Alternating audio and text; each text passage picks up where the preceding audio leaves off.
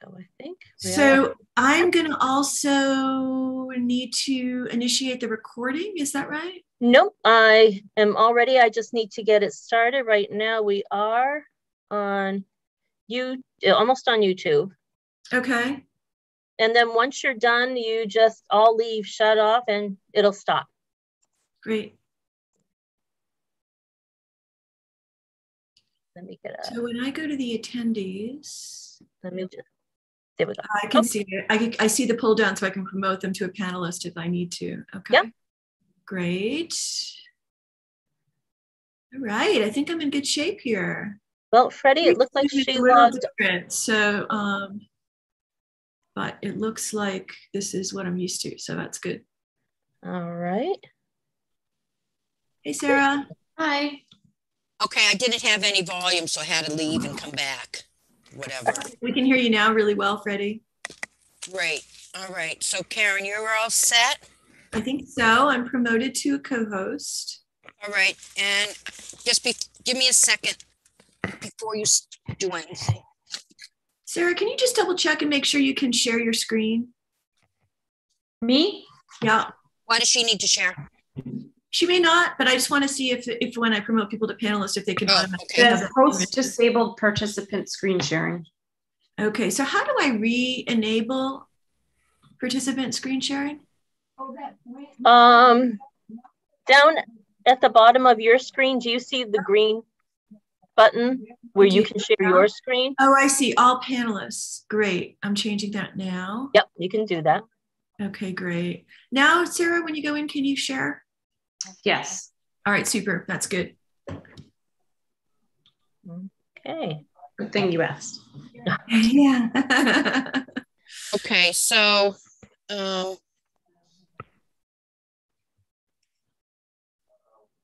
I am going to look at our agenda. Oh, okay. I'm gonna get you guys recording. You're all set. So Karen, you're okay? I am okay. Yeah. Wait a minute, I, I need a minute. I have to get the thing I have to read. Although you don't have to read it, but people are reading it, so. Um, All right. So I'm gonna let you guys go. Do you want me to hang around if you need something or no? You're all set? make, su- why don't you, um, let me call the meeting to order and then we'll see. So we're, we're live now? Mm-hmm. Okay. Why don't you wait till we make sure we can, when it's time to promote people that it works, okay? You got it. Right. All right. Hi, everyone. I'm Freddie Gillespie, Chair of the Open Space Preservation Commission. I am going to read this little blurb. Uh, virtual Zoom meeting may be watched or you may participate in the meeting remotely with the meeting link at www.southboroughtown.com remote meetings. Pursuant to Chapter 20 of the Acts of 2021, an act relative to extending certain COVID-19 measures adopted during the state of emergency signed into law on June 16th, 2021. This meeting will be conducted via remote participation. No in-person attendance by members of the public will be permitted. Agenda. Oh, now I'm going to start with the agenda. So, okay, I'm going to call the meeting to order, having a quorum. It is now 11:04. And the first order of business is to review plans for Ken's Foods. And I see Scott Dowdy is here. So Karen, can you um, elevate him? I sure can. And just to uh, clarify, Sarah, are you taking um, minutes? Go ahead and ask. Trying to do that. So can you take notes? Because Karen's doing this. She can't be the Yeah, scribe. second. I don't, I can try to do both, but oh, I can do it. I just have to open up okay, perfect. something real quick. Welcome, Scott. Hi. Hi, Scott. Um, Hi, Freddie. Hi. Um, can you also, can you see that, um, is William Pizzoni and Jim Bourne also in the waiting room? They are now. Yeah. Could you also promote them? Just Will. Just, just Bill. Just Bill? Okay. Yeah, just Um, Bill is in the waiting room, and then also Aphrodite is in the waiting room. Well, So she's, bring, don't, bring she Bill is- in. right? Yeah. Please bring Bill in. Thank you. Sure. she's an attendee, not in a waiting room. All right. So How's everybody Bill's on doing? his Way. I do have a plan, Karen, that eventually I'd like to to share? Sure. I, I just, I think, so Scott, just so you know, um, I'm used to Zoom, but this is the first time I've been the Zoom person for a town meeting.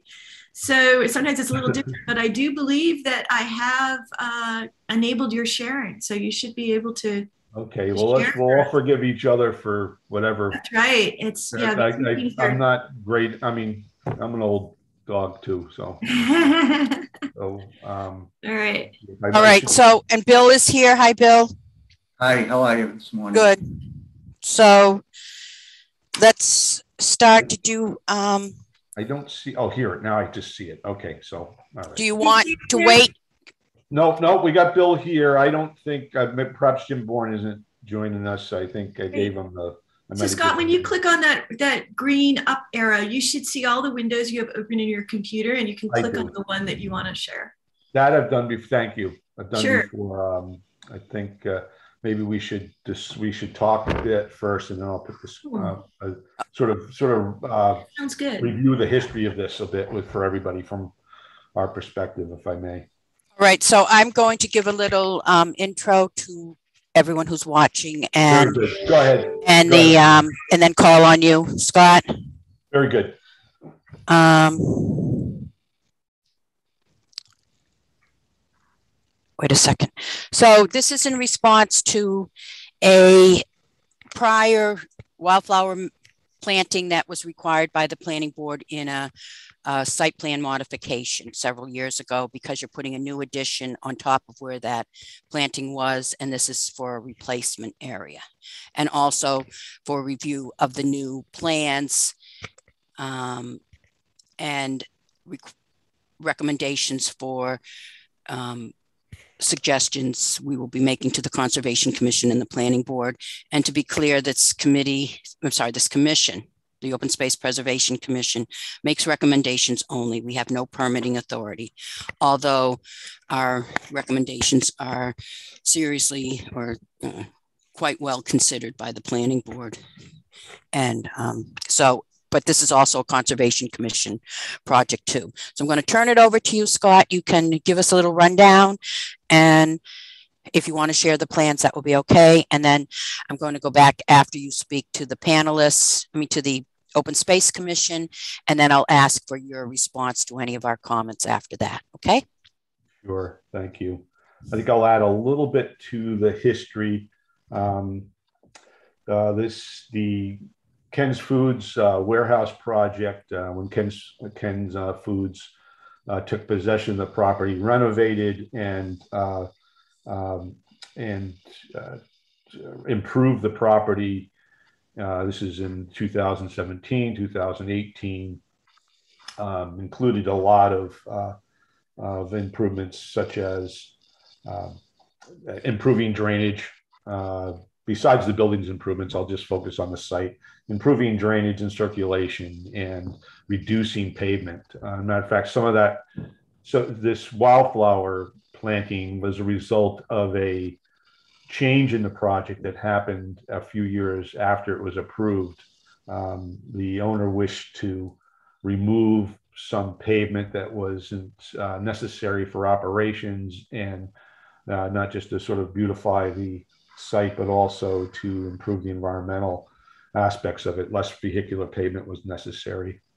Um, and so we went back for that work started. We went back for approval with the planning board. At the same time, um, uh, at least had been initiated. I don't. I think it'd been in place for at least uh, a year or so.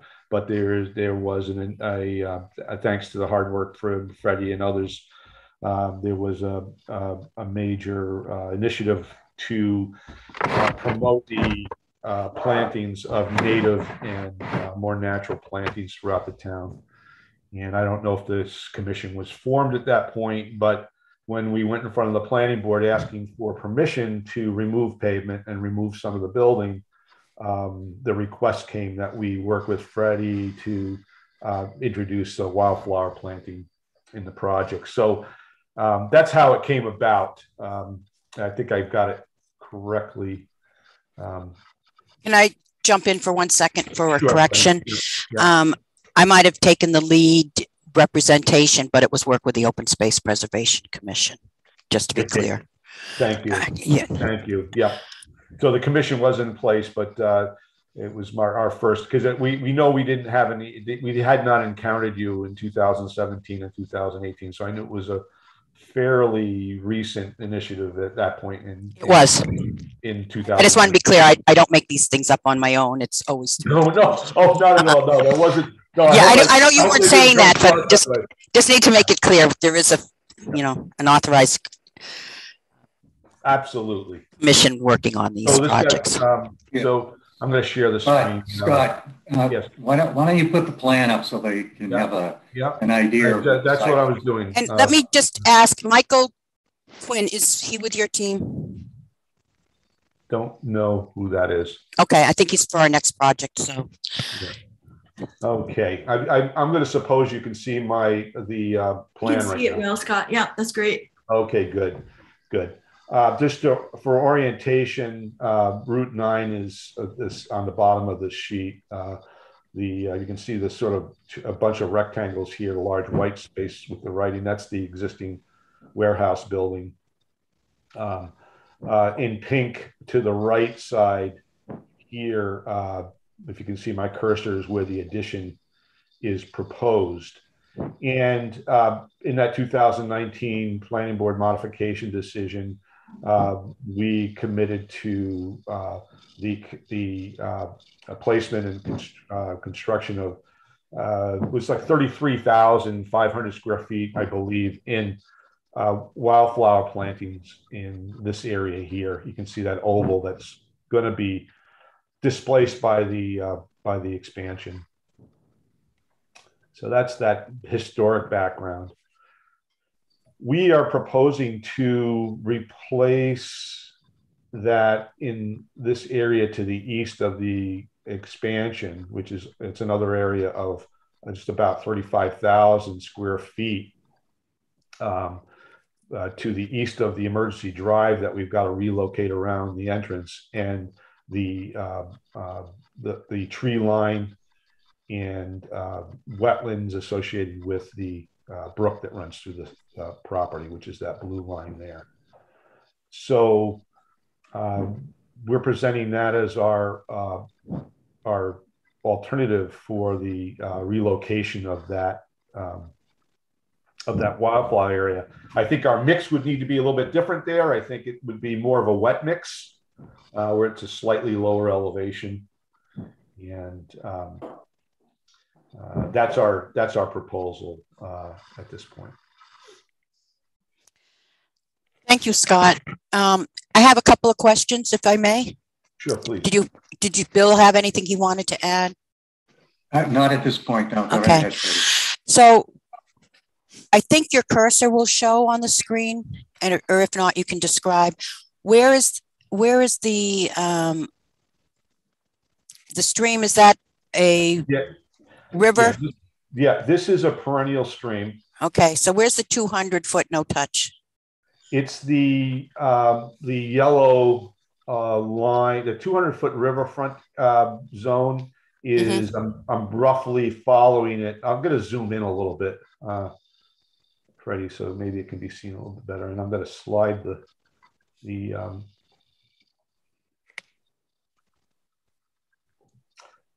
this Oh, and I also didn't ask Scott, can you introduce what title you have in the team? Did I, or I might have missed it, sorry. Oh, I'm so sorry. I didn't really introduce myself. I'm sorry. We, we seem to be, I guess we're somewhat familiar. Uh, my name is uh, Scott Doty. I'm principal at John G. Crow Associates. We're landscape architects, civil engineers for the project. And Bill Pizzoni, attorney for uh, Ken's Foods, is also here with me.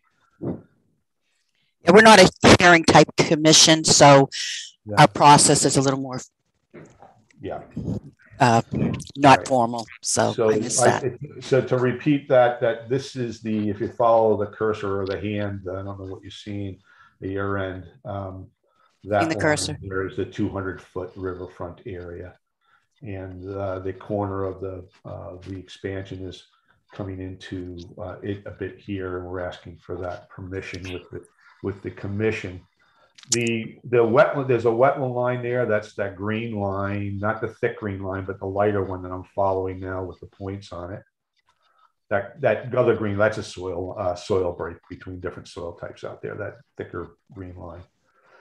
And what so the blue is the is the um, brook and uh, you can see it's quite straight in some places. And we believe that uh, the dairy farmer that worked this area for many decades prior to the warehouse, the, the building being built, relocated it, lo- located it there. And um, again, that's sort of the background. So if there's, you have more questions, please. I do. So on the plan, the area of disturbances for the building is the plan disturbance is on the outside of the planned proposal We, for the yeah, this planting? dashed line here in black was the original um, area of disturbance that we were proposing. You know, you can see that black dashed line I'm Yeah. following. This is a change. You know, we we were we were at uh, initially had had uh, proposed a 17,000 square foot area in here for wildflowers, and then thought we could work with the commission here to perhaps um, uh, uh, maybe there were some other solutions for the for a remainder that needed to be to compensate for the 30 you know the rest of the difference. But then we figured that um, we received a, a rather uh, positive response from the commission, conservation commission to extend in towards the wetland in this area with the natural plantings. And we figured that that would be helpful to um, to to the cause for uh, native plantings and also um, uh, environmentally sound uh, principles with the Conservation Commission. So, Okay, and one other area, where is the, because I was out there, and thank you for permission to walk it. I went, none of my commissioners were available when I went out there, but uh, planning board member Meme Luttrell um, walked with me. oh, that's great. So we did see a detention, I think it's a detention basin. Is that in the upper right-hand corner above where we're looking That's a bio retention. That's a bio retention area. That's right Okay. here. Okay, so it's outside of this. Yes, it's up. It's up in here. That was part of the original 2017, 2018 project where we wanted we um, uh, we wanted to be able to capture the stormwater from this parking, the employee parking lot that's up here in the northeast corner, and have it treated before it would be released into the environment. So why I brought that up is when we were there, I believe um, Meme noted on the old plans, there were some trees that were, or shrubbery that was, should be there that haven't um, fared well, so I say. So this is a little off topic, but it's related. So those trees had not, um, they, they were dead or dying, a few of them. And I think there's a request to, you know, they they need to be replaced. Yes, that's correct. That's So- correct. Yeah, we have some, we have some, uh, some remedial work that we need to do in some of these area, in some of, in that area and one other area. So I, I have a few um, comments on what our commission can do. Right. I think we need to go.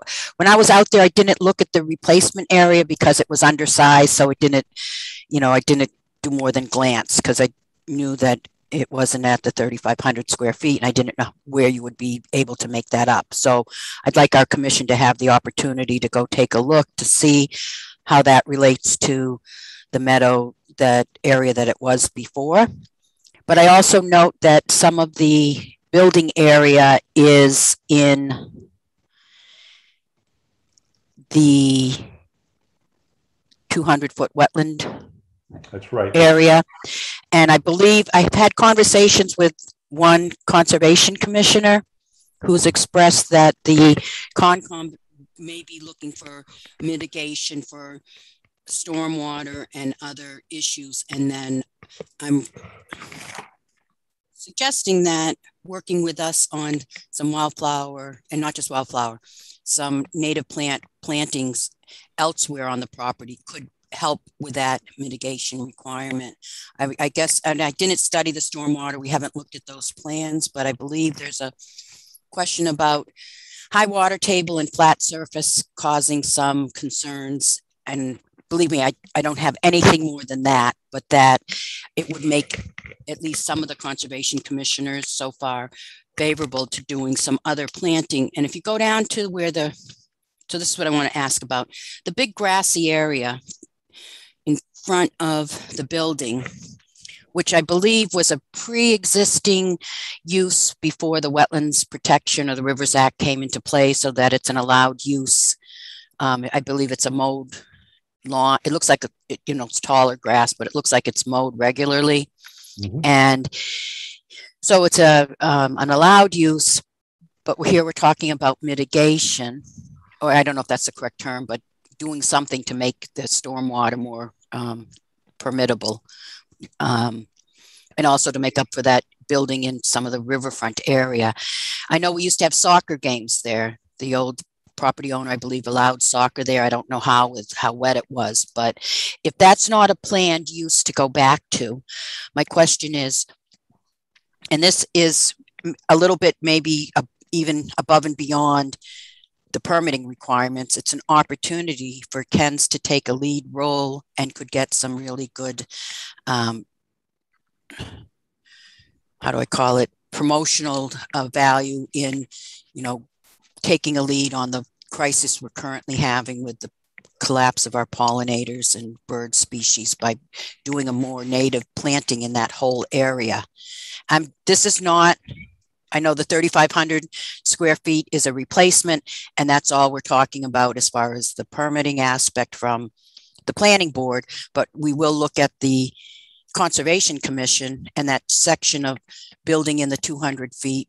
You know, is there an opportunity here to not only do better by us, but to also provide some value to Ken's in, you know, promoting their, you know, there'd be signage maybe and promoting this um, really big help to the ecosystem and biodiversity um, in the town of Southborough. You may know that in addition to the Open Space Commission, we have, were so our efforts in town have been so well received that there's now a regional group um, the Metro West Conservation Alliance. It's made up of 36 communities, and there's a Native Pollination Systems Task Force where I chair that task force, and we're working to get these plantings and gardens, specific plants using um, the plant list from Dr. Robert Gegear's research, who he's been in Southborough since 2015.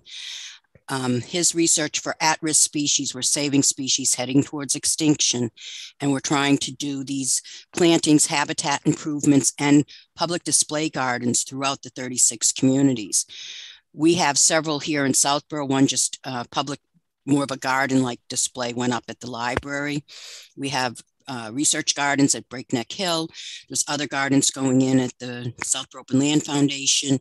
We have plantings going in at the golf course and the Halloran property once invasives are removed. So this is not a unheard of thing. And we have these gardens going in across the 36 communities of Metro West.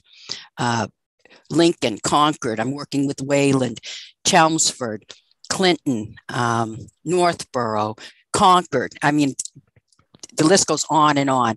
And this could be some area where Ken's could play a lead role. And it would be beneficial not only to um, maybe your image, not that you need an image improvement, but certainly doesn't hurt to be a leader in this effort.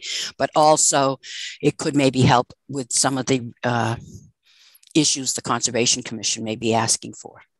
And I have that plant list. So I'm also going to be asking that we use a different seed mix. You already said that it would need wetlands. Fortunately, a lot of the plants on Dr. Gegear's list are wetland species, and we're working with Ernst seeds instead of New England wetland plants Yeah. to come up with custom lists that are eco type, as close to our eco type as we can get. Uh, seed availability is difficult. Um, we're trying to improve that.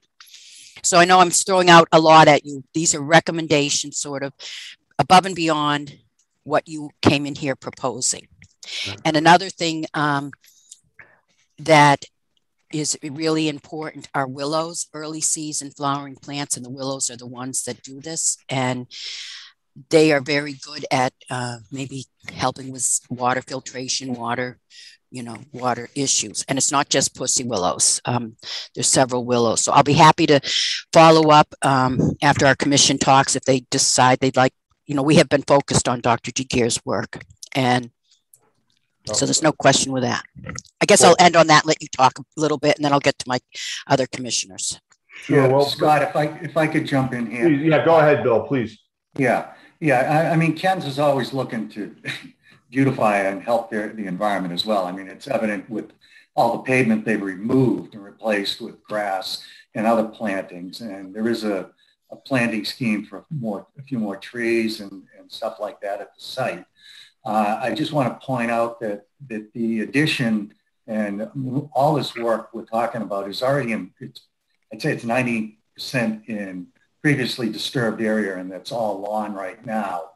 And the little corner that gets into the, uh, the uh, Rivers Act 200 foot, uh, you are allowed to work within 100 feet of the river uh, with, you know, with the approval of the board. And where it's especially in a previously disturbed area, they're usually pretty carte blanche about that. Uh, I will say that, you know, Ken's will look at all the different species that you're talking about. And, uh, you know, I mean, I can't commit to anything right now, uh, but I'm sure that they'd utilize it and they'd want to, you know, help help with that. Uh, as you can see, you know, all the wildflowers and everything are near your undisturbed wooded corridor over on the right side as well that will help promote that rather than, you know, I'm, I'm afraid what happens down by Route 9 isn't going to get the benefit that it should be. And maybe we'll look at some other spots around the site that maybe we could do something uh, and get back to you on that. They're not adverse to doing things like that. Uh, so, you know, they, they may be open. Uh, it's just that we need to be sure that, uh, you know, we don't impact visibility as well on, on Route 9. I know you're only talking about flowers uh, and, and plant, you know, low growing plantings along the, uh, the front there by the, the river or the brook. Um, and maybe there's a way that we can overseed in that area that's, you know, already disturbed with some growth in there to add some, you know, hybrid uh, types of plantings that will do what you're looking to do, Freddie. Uh, you know, Ken's is, you know, they're always, they're a good, good neighbor, not only in Southborough, but in every community they're in. And they try to work with the community. And heck, if we can get some written publicity or digital publicity out there about things we're doing, we're always looking to do that. Uh, Scott, I just want to make sure I didn't misquote on all the work we're doing out there. I don't know if all the planting we were looking at is in previously disturbed area, but I, I'm pretty sure it was. Uh, it's there's not really anything that you see out there outside of that's within the four, you know, the tree limits that hasn't been disturbed. Um, uh, I don't know how long the history of some of the folks listening in, but uh, they probably remember this back as a dairy farm, uh, perhaps uh, before the 1970s. But um, it was uh, it was quite a uh, it, it, it's all previously disturbed. Uh, not to say that we can enhance and improve things as we're moving along, as we have already. Um, I just I wanted to, uh, and I also just wanted to address one aspect of what you were saying, Freddie, about exhibit gardens and promotional in return in terms of native uh, plantings and such. Whether or not it's you know to the east or to the north of this building, where we've got some. By the way, we've got some um, areas that are not um, uh, paved to immediately to the northwest of the building and also to the north side of the building where we removed pavement and portion of the building in, uh, to, in 2019. Um, there's some other opportunities there, but one of the concerns really is safety. Um, as I'm sure you, when you were out there, maybe wasn't that busy when you were out there, but the truck activity out there is um, can cause some concerns for having if if we were to put together an exhibit garden or anything like that for people to come visit, I'd be concerned. I'd have that. Ken's probably has that concern. I'm sure of it. Um, Um, Can I just say? Yeah, I, I, I'll jump in there. I, I don't think they'd want people on a regular basis walking in there, the truck I wasn't traffic. proposing that here. So, Yeah, I, I didn't think, Okay. I, I didn't think Wasn't I sure. heard that, Freddie. either. so I was talking about how big this effort is. It is public display gardens, yes, but also habitat. So the public display of this could be you do the front meadow where people driving down Route 9 and stuck in traffic look over, see the pretty flowers and the, how beautiful these meadows can be, and then see a sign saying, you know, pollination preservation, native pollination preservation garden. We're also going to have certification little logos that would identify you being part of the um, MCA effort. And not that people would be getting out of their cars and coming to see it but also okay. what you're talking about other so anytime you improve the habitat you're making an yeah. improvement. People don't have to be seeing it, but we want people to be planting these plants at home and they need to see them in a different landscape than in um, conservation land. You know, when people first started on the, the native mm-hmm. plant kick, people yeah, maybe and, went and, wild and what's called messy meadows. So we are trying to show they can be formal gardens, but they also make beautiful wildflower meadows as well. So um, I think some of the things you're talking about, you know, adding in other areas are great. I'd like to see beyond this permitting issue that we somehow the Open Space Preservation Commission and Ken's Foods become partners in promoting our efforts for uh, pollination preservation, pollination systems preservation. It's not just about the pollinator, it's the pollinator animal interaction. And I will say, uh, where is it? Um, St. Mark's School. They're going big on this. You know, they did a dorm addition and they had a requirement there, but they're going to be looking at adding these plantings in elsewhere on their property. We're trying to not just have it be libraries and schools and conservation land, but businesses as well, and particularly businesses that aren't required to, just in permitting, which is one area to start the conversation. I will say that uh, there's somebody at Sanofi. Is that how you say it? I always call it Genzyme. They're looking Sanofi. at putting some Sanofi. Yeah. Sanofi. Sorry, Sanofi. Um, it's French. I, I, murder English too. So um, Sanofi, they will. Um, they got a list. Of, you know, they got an area to put some plant, do a garden in, and they were told, oh, it's near a wetland. You have to use these plants that the Conservation Commission requires. And when my volunteer got the list, it was Dr. Gegear's plant list. So Framingham's Conservation Commission is already requiring plants from his list or suggesting or recommending if there's pushback. So there's no reason not to use his list. Um, getting the seeds is not through New England wetland plants though, unfortunately because right. Freddie, Freddie um, in that regard, can I ask a question? Are uh-huh. there other locations? I mean, having lived in South Southborough, I used to, I moved now, uh, for 30 odd years and growing up in the area and, and knowing this area as well. And I do remember the farm that was there and I remember coaching the soccer that was there. But are there locations in town that town-owned property that you guys are looking at to create flower meadows and types of things like that, these types of meadows that you're talking about? Yeah, we're doing it. Be, it might be wise for you guys to create a uh, a fund, basically, for people to, to fund into, uh, and then you know you guys can have town properties which are spotted, you know, all over the community that you could you could add wild wildflower areas to, which would be great. I mean, uh, believe me. I like I that idea, um, but to your point, Breakneck Hill, 100 acres, we're actively managing it for this. Um, yeah. it was the first research site in 2015 of Dr. Robert Gegear. Um, we trained volunteers. Uh, a lot of his plant list came out of the research done there. And now yeah. we're adding the plants in. The golf course has a project. We're removing invasives, and after the invasives are removed, yeah. that was funded with CPA at the golf course and also at the newest Halloran property. Um, yeah that's you know we have to wait till the invasives removal happens okay. we're also working like i said a more of a formal display garden at the library and then yeah. additionally the Southborough Open Land Foundation we're in uh, soil preparation mode at the Beals Preserve, and we're looking at maybe expanding that later to meadows there.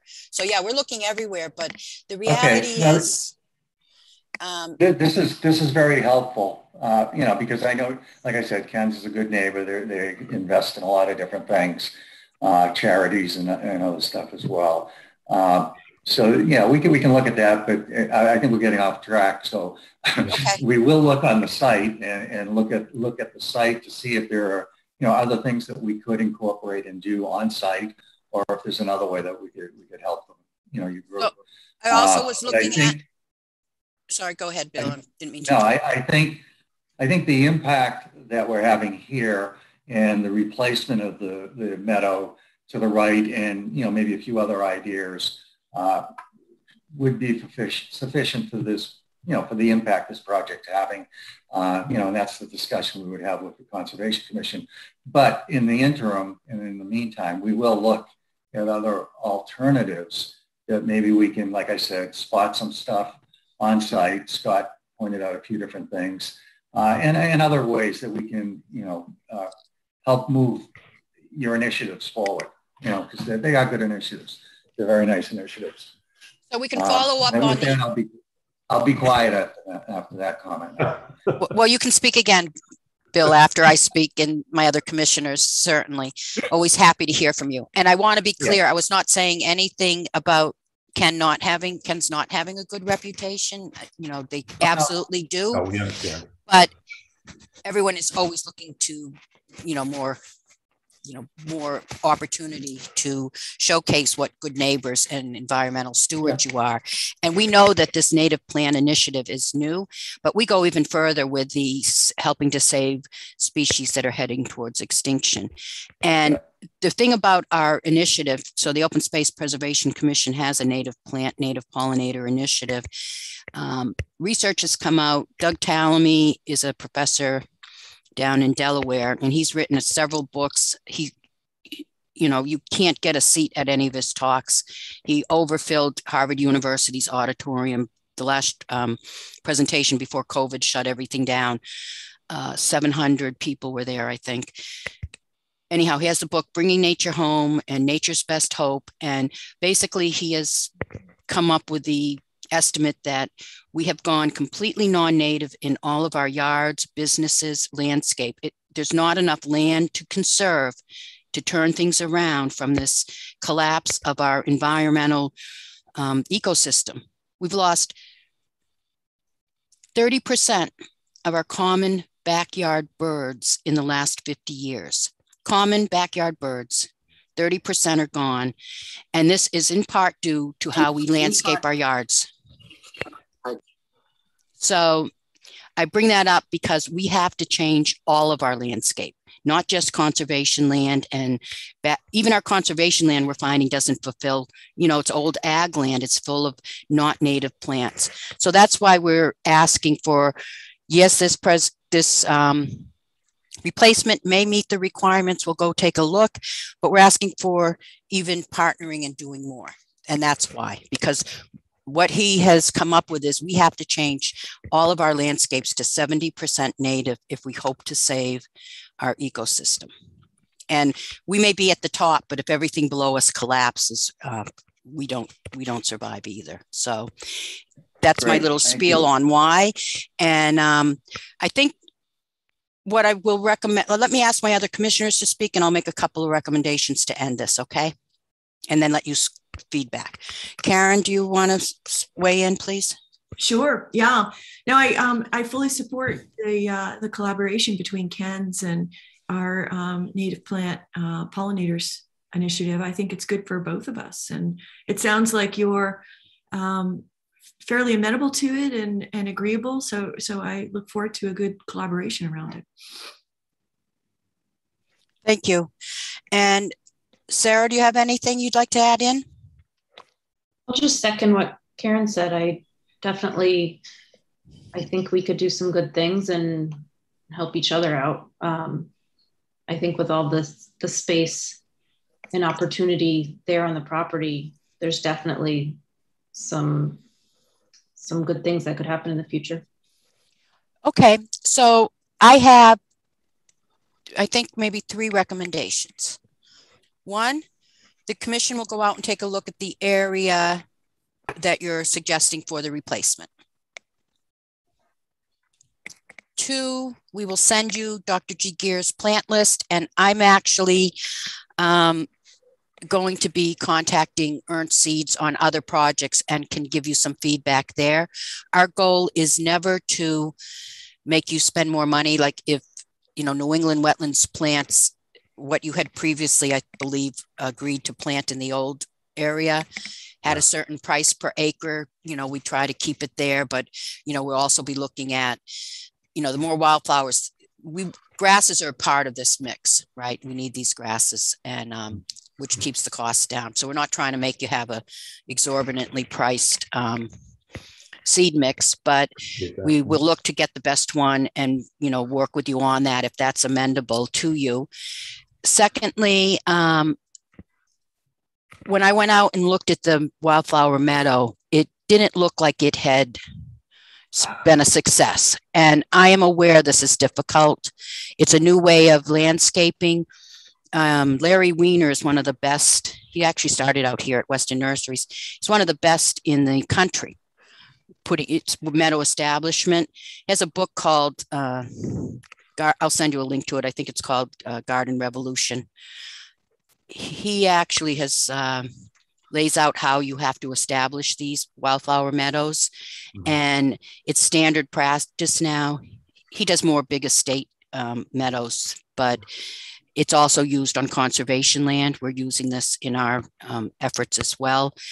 So I think we would recommend that there be a requirement for how this is established. Like what I saw when I went there was not a wildflower planting. It was all clover with a few, and it seemed like the non-natives, if they were, when I say non-native, native south of here, ones we wouldn't have included in any mix we recommended, but they were already in the New England wetland plant mix. Maybe I don't know how they got there, yeah, yeah. but they weren't. They weren't.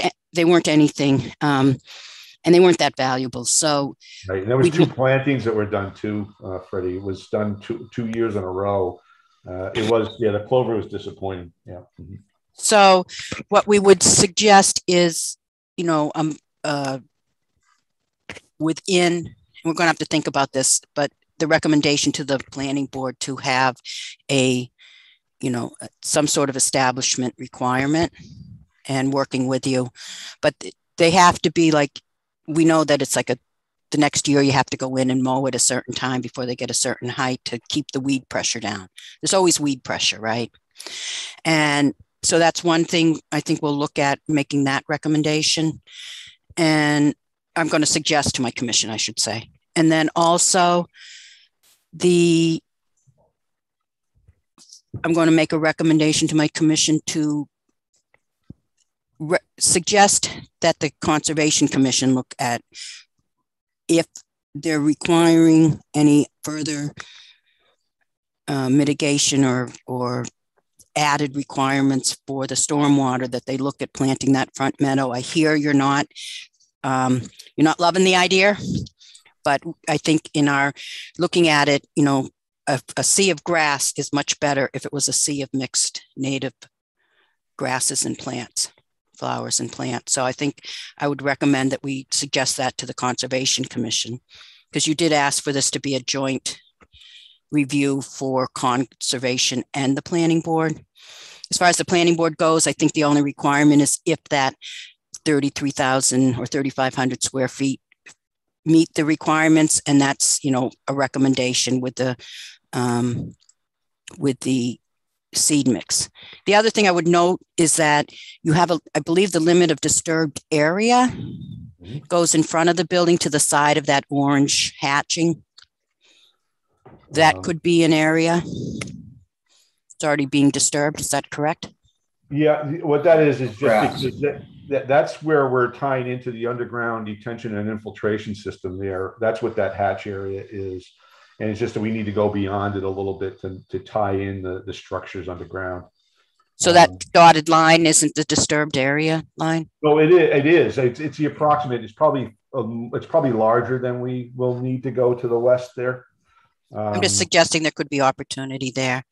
Yeah, and then, yeah, I, I'll go ahead. I, I know you've given us an opportunity when you're done. I'm sorry. Go ahead. Yeah, and then the final thing is I, I'm wondering about this statement that in red, I can't read it on the plan here, but it says something like you know, in the muck area, that it's area of undisturbed open space. Is that deed protected? Because otherwise, I don't know that it should say open space on it on a planning or zoning map. Um, I, I, I, think it, it should. It's one of the area one of the areas that are asked for in the um, LID application, I believe. What areas on the site are undisturbed open space? I don't think. I think it's. I think it's undisturbed open space. Small O, small s. I don't think it, it's not a I know your definition of open space might be different from that earlier that that that question or that answer that we're trying to give there. Okay. So, um, well, let's make sure it's the you know correct it, term for what they're asking because it could be oh, misleading to other I, people's. Well, I, I think if it wasn't, I think we probably they. I think that Corinna might have clarified that with us, but the um, it's uh, it's just it's to show that that that brown line is just show areas to the right of that, and there's also some to the left you can see, but it's yeah, there's a, that, another one up top. Where we're not that, that that from what we can tell have not been disturbed in decades. Um, so okay, uh, that's all. That's all it is. Um, okay, that's all they're trying to show. All right. I just don't want people confused thinking there's some, you know, protected open space there. No, no, there's no restriction it, it, no restriction other than the normal natural the regulatory restrictions because a lot of that area is wetland and um, and floodplain anyway so yeah uh, if, if i could uh, madam chair uh, yeah go ahead phil a couple of things yeah uh, it, you know, your first couple on the list, send the plant list. Yeah, we're happy to look at it. We'd love to incorporate what's the proper way to do it. Uh, and you, you know, take a look at the area of replication. I think you're going to find it, it is suitable and it and it's going to work properly. And it's actually located in an area that's going to probably attract more uh, birds and, and you know the, the you know, was different plants. And, was isolated. Yeah, the insects and everything that are going to come there. You know, the bees and all. Uh, the uh, the planting in the in the, the planting in the front is is going to be uh, somewhat of a challenge, only because Ken's has a model that they use with most of their developments where it's clean meadow in front of their buildings and stuff. And the principal likes to keep it that way. Uh, but we will look at what we can do, you know, closer to the wetlands area and the river. Uh, and we'll look at other areas on the site.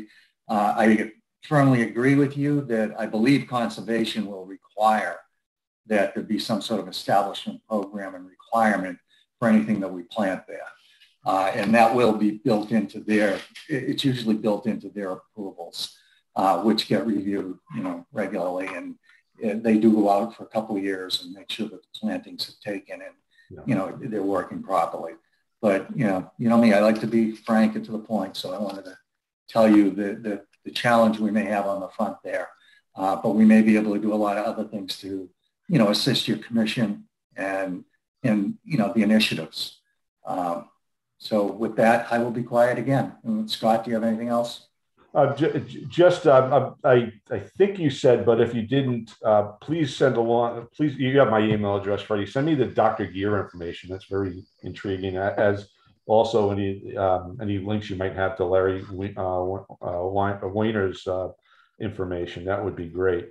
Um, I do say, I have to say that, and I apologize to anybody from New England flower, New England wildflower mix that's maybe listening here is that there that uh, I don't know what what happened there, but we did use their mix, and it it could have been just a struggle. I also think some of the issue of that being isolated uh, the way it was um, might have contributed to uh, its its detriment.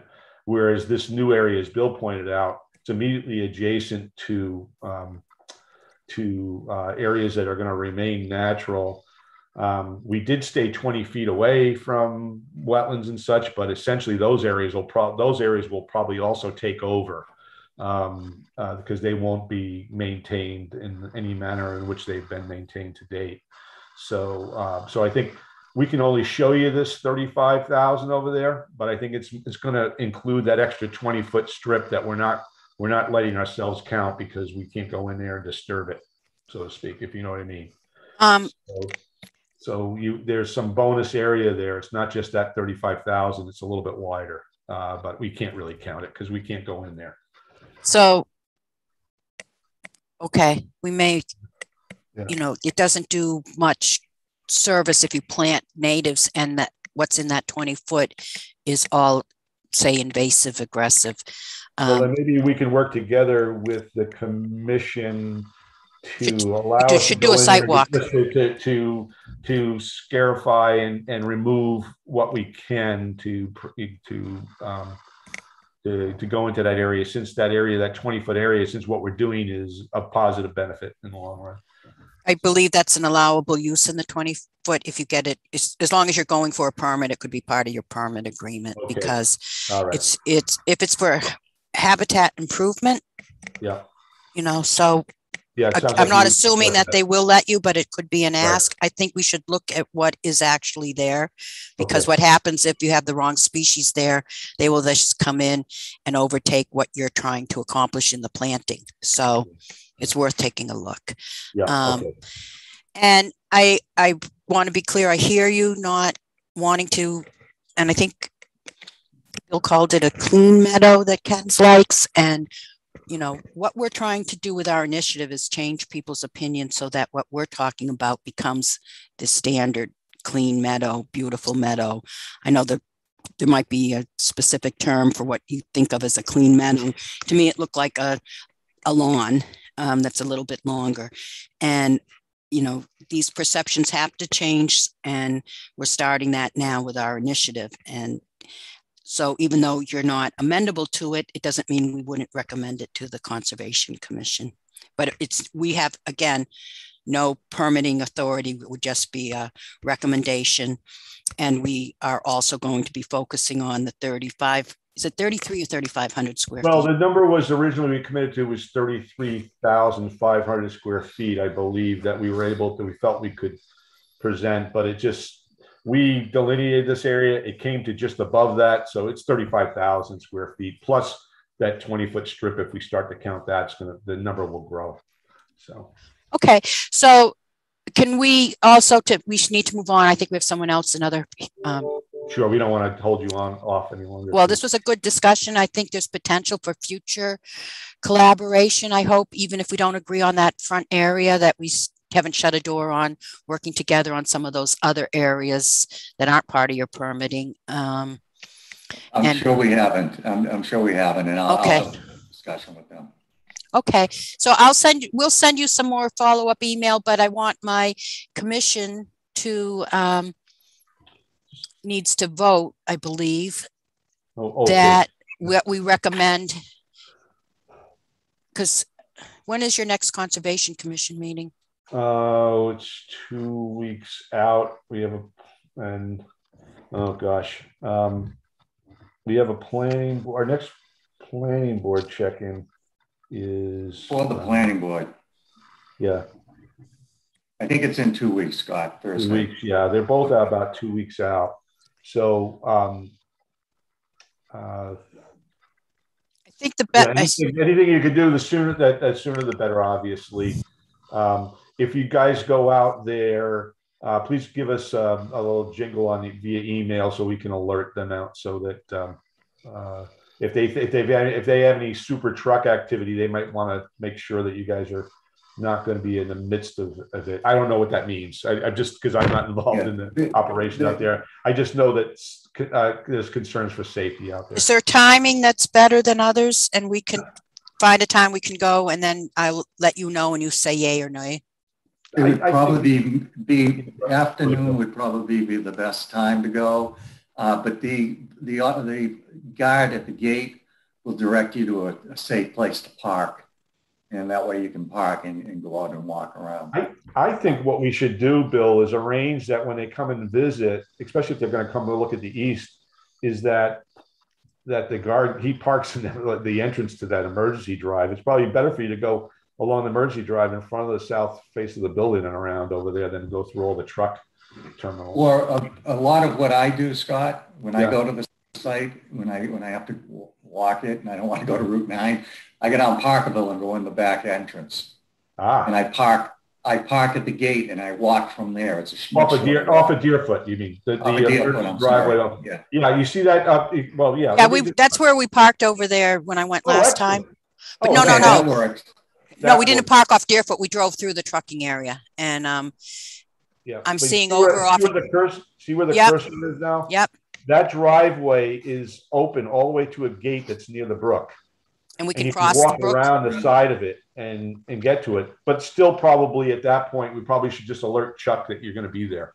So, Right, we need, we're gonna need to, we're gonna need to know you're on site, because otherwise if they see you walking around, I don't, I don't want them to call the police. So we will notify you of when we have a set date to go. yeah. Yeah, Um, as far as the recommendation, I'm going to ask my commission that you agree to make a motion that, well, let me ask, do you think we can meet again in the next two weeks, Karen and Sarah?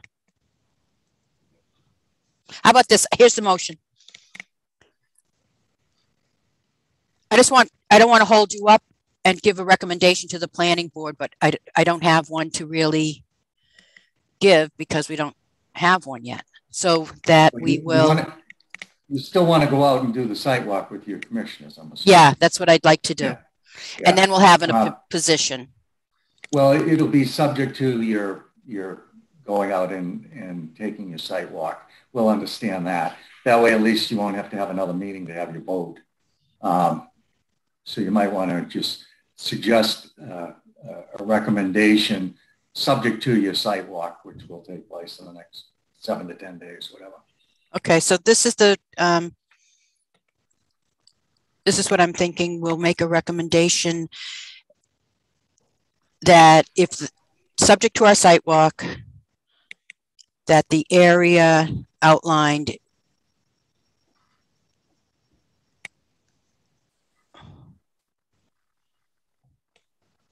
for the replacement meets the requirement using plants on Dr. Gegear's list seed mix instead of the prior one.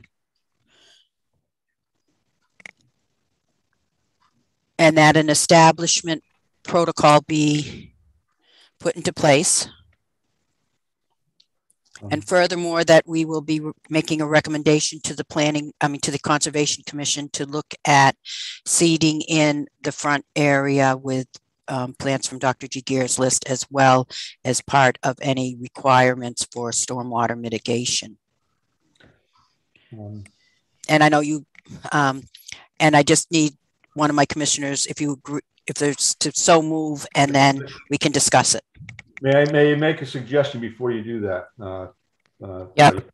That, um, could you add something about recommending or, uh, if, if, if allowable by the Conservation Commission, which they probably would, that we would extend this area into that twenty foot no work zone? When we'll, we'll make that change on the plans and make this area larger because it does make sense to go that way with it. Based on our site visit, Yeah, yeah. I I mean, if it's all beautiful natives, we wouldn't recommend that, but I doubt it I is. think But it's, I we think don't it's the know. one- I think it's the one right up to the edge. So, The wetlands are flagged out there, by the way, the state. So let's see. okay. So I'm going to start over. The motion would be to make a recommendation that the, um, sorry, make a recommendation to the planning board based on our site walk.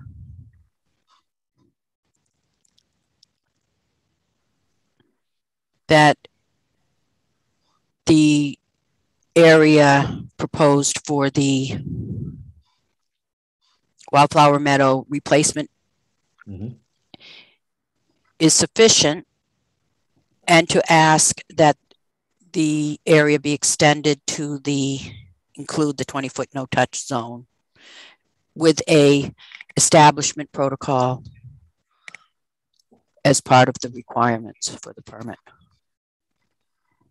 Additionally, we will recommend to the Conservation Commission to add a native plant, wildflowers, and grass mix seeding to the front of the building if they're looking for mitigation for stormwater.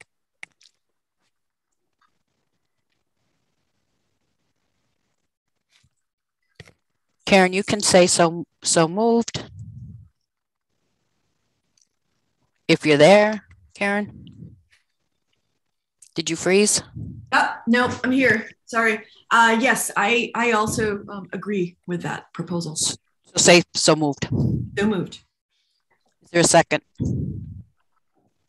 That would be you, Sarah. I mean, I'm sorry, that was Karen, so Sarah. Yes, so moved. No, you you're seconding. I'm seconding. Sarah. Okay. Is there any other discussion on this? I, th I think that kind of covers what we want to do without having a definite recommendation. It, it allows us to move forward, do the site walk, and then make any changes to that in a meeting afterwards, but gives you some um, assurance that we're moving forward on this. That's great. Thank you. Okay, so now we need to take a vote. Karen? Uh, yes, I, I, I approve that. I'm sorry, Freddie, I'm, I'm completely confused by this process. It's not what we've usually done. It was a motion you, I made, I, I said it and you so moved it, so Okay. that became the motion.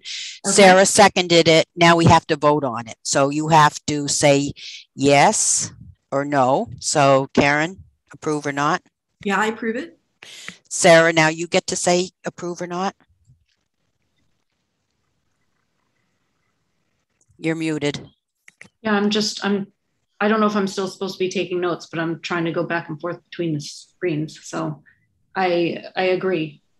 Okay. And I agree. So that unanimously passes. A little bit convoluted, but we'll, we'll listen to the tape and make sure we have it right. Okay. Is there any final comments from uh, Bill or, or Scott? Thank you very much. Thank, I, Oh, thank you for all that's you're doing for the community also. You're welcome. Thank you. Thank you for Thanks. coming. Thanks And very I'm- much. We'll be in touch about our site plan date. So this portion of our agenda is over. So Karen, can you um, remove Scott and Bill from the panel, or you guys can sign off? Yeah, I don't know. And I believe we still have Michael Quinn here for our next, let me just double check, He the is Northborough Road. To uh, bring him into the panel. Yep.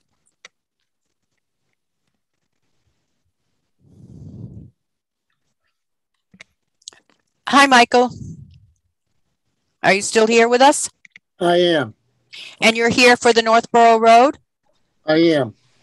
Okay, so I'll just fill my commissioners up and then you can give us an update. I won't fill them up. I'll, I'll, I'll update them on our, on this project. Uh, in several years ago, it came before us. We reviewed it. There was a requirement for native plants on this project. A plan was um, submitted and approved by the planning board and the building has gone up and the landscape doesn't have exactly the plants that were on the plan. So we're looking to have that uh, rectified, uh, replaced the one, the ones that aren't native or on the plan to be taken out and to add the new ones. And we have a site visit planned for Monday morning, correct, Michael? Yes, that's correct, Freddie. Right. So we were having a meeting today for the Ken, so I thought we'd put this agenda item on. I'm not sure without a plan that we have much to discuss, but I, I would like to hear from you um, and then see what we, we think we can um, move forward, how we can move forward. Okay. Right. Uh, so first, thank you for inviting me. Um, what I have done is hired uh, Subby Design Group and a, no- another um, landscape um, person to identify all the plants that are that have been planted that are non-native. Okay, so we're going to remove all those.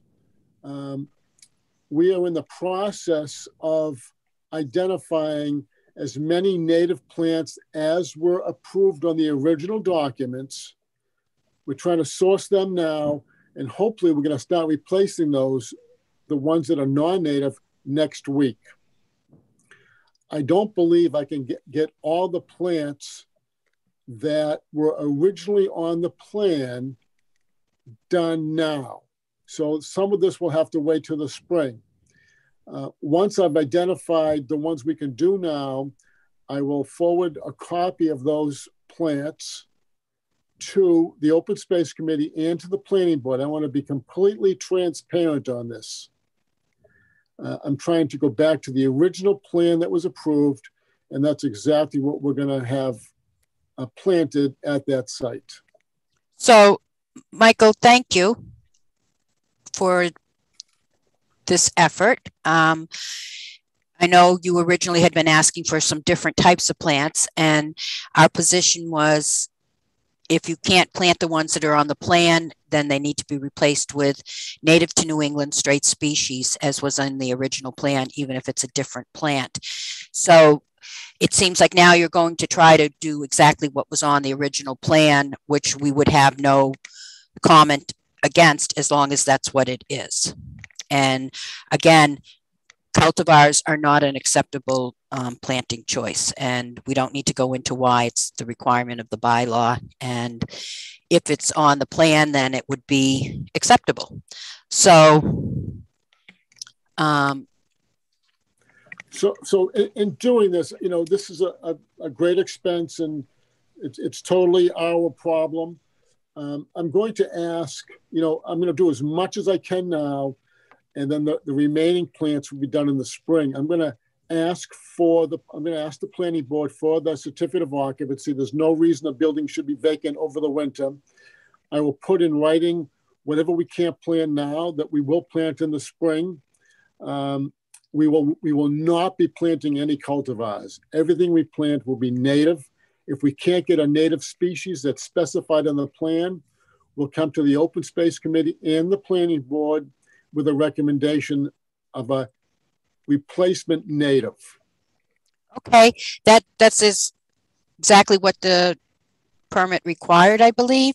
It and is. we are aware of the difficulty of, you know, native plants or not even native plants. Plants aren't available all season long.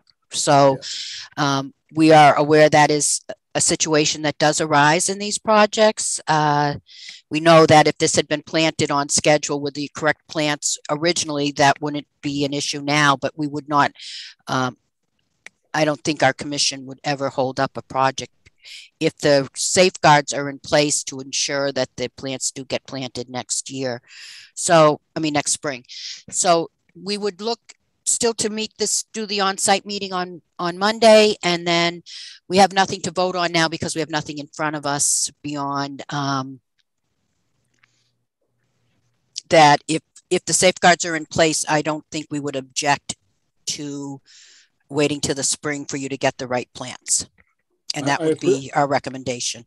Right. I, I greatly appreciate that. So I'm trying to be completely transparent. I want to keep the Open Space Committee and the Planning Board informed.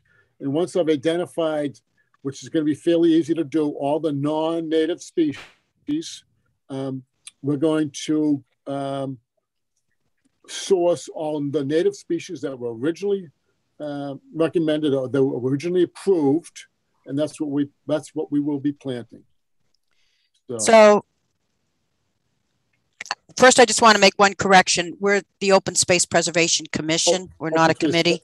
Okay. Everyone keeps getting that wrong, um, but it's important to have our name right.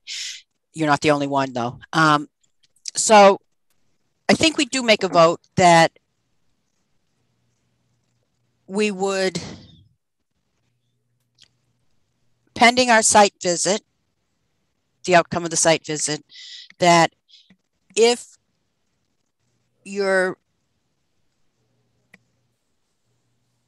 um, communication to the planning board is that you're going to plant exactly what was on the the list before or come back to the open space commission and the planning town planner to approve any replacements that we would be okay with waiting for some of those to arrive in the spring if they're not available now.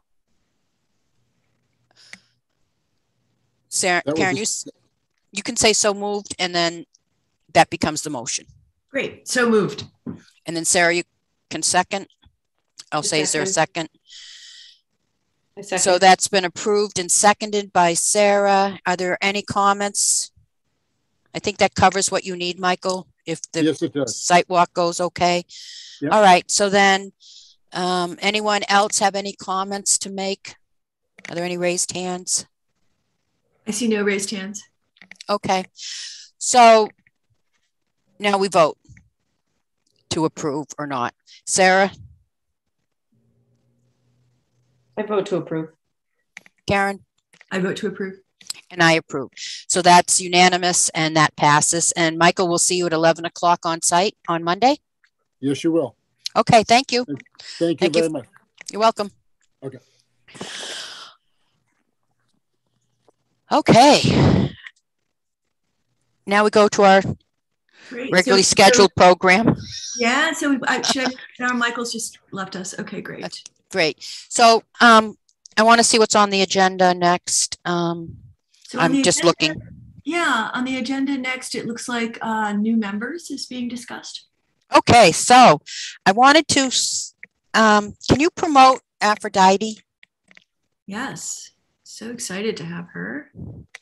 So I wanted to introduce you. I, I hope you've both met her at some of our um, volunteer workshops. She's been helping out at the Open Space Preservation Commission's project at the library. She's been helping out at the Ecology Research Garden.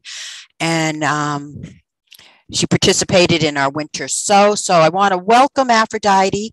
Your first time attending one of our meetings. We always feel um, I had asked Aphrodite if she was interested in joining the commission because we have an opening to put in a um, volunteer application to the Board of Selectmen, but we always think it's best for people to come to a meeting to see what types of things we work on. And we haven't done a review of a plan in a long time, so we're a little, maybe a little rusty, but um, I want to welcome you.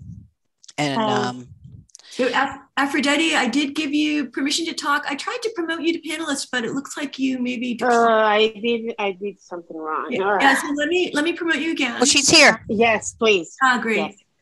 No, she's, I don't know why she was here.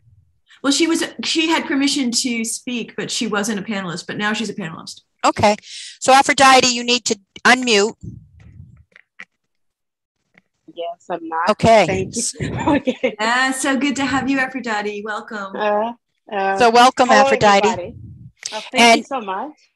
You know, Karen and Sarah are here, and we're the three members, appointed members of the Open Space Preservation Commission.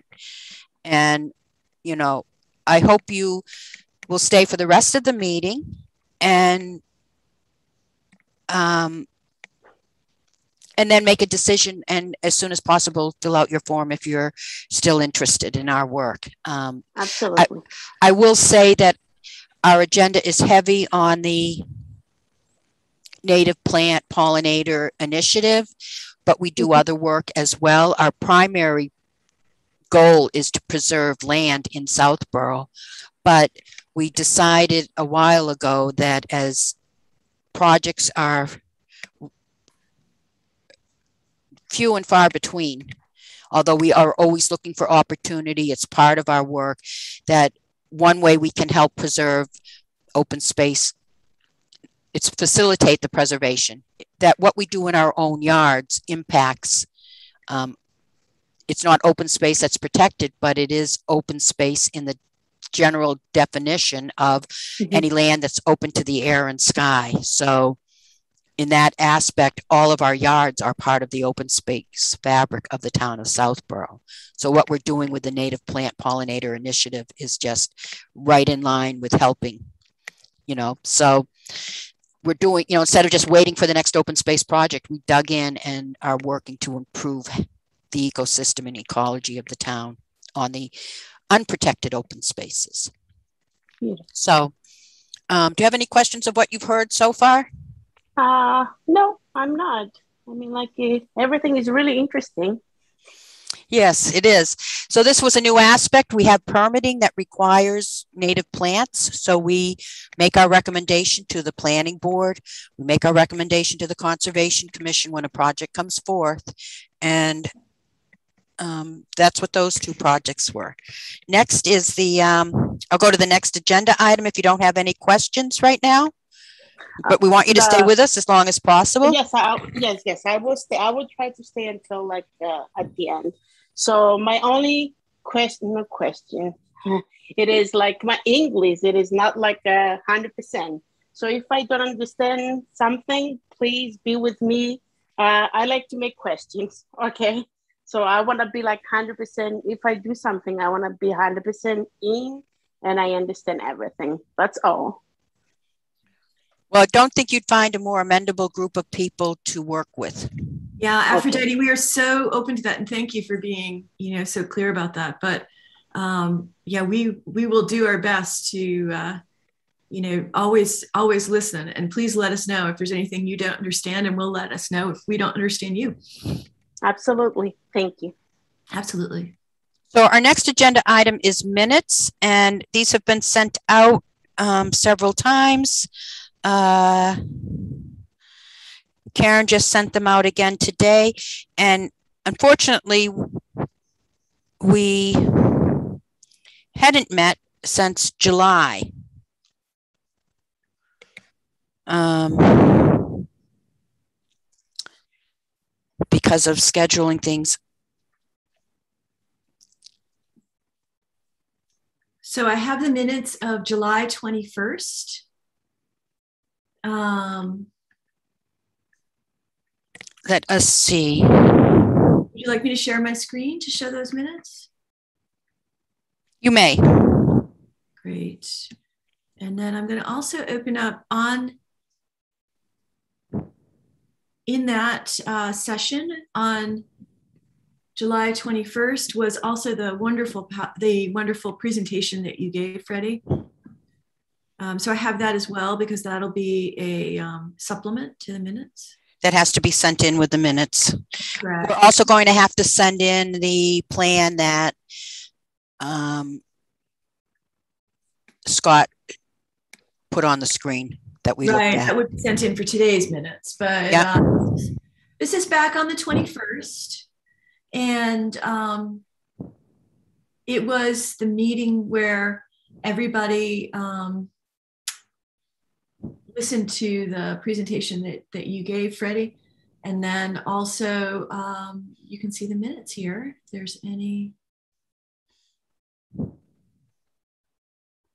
I see a typo right here. Let me fix that. I'm not seeing a typo, but um,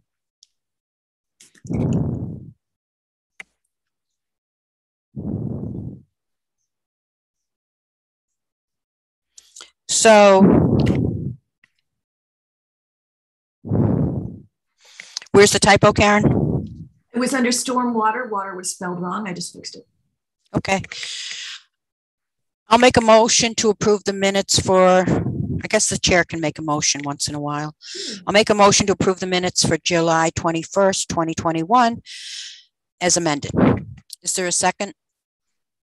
Um, I second that. Uh, second that motion. Okay, all in favor? I, Freddie, approve. Karen? Um, Karen approves.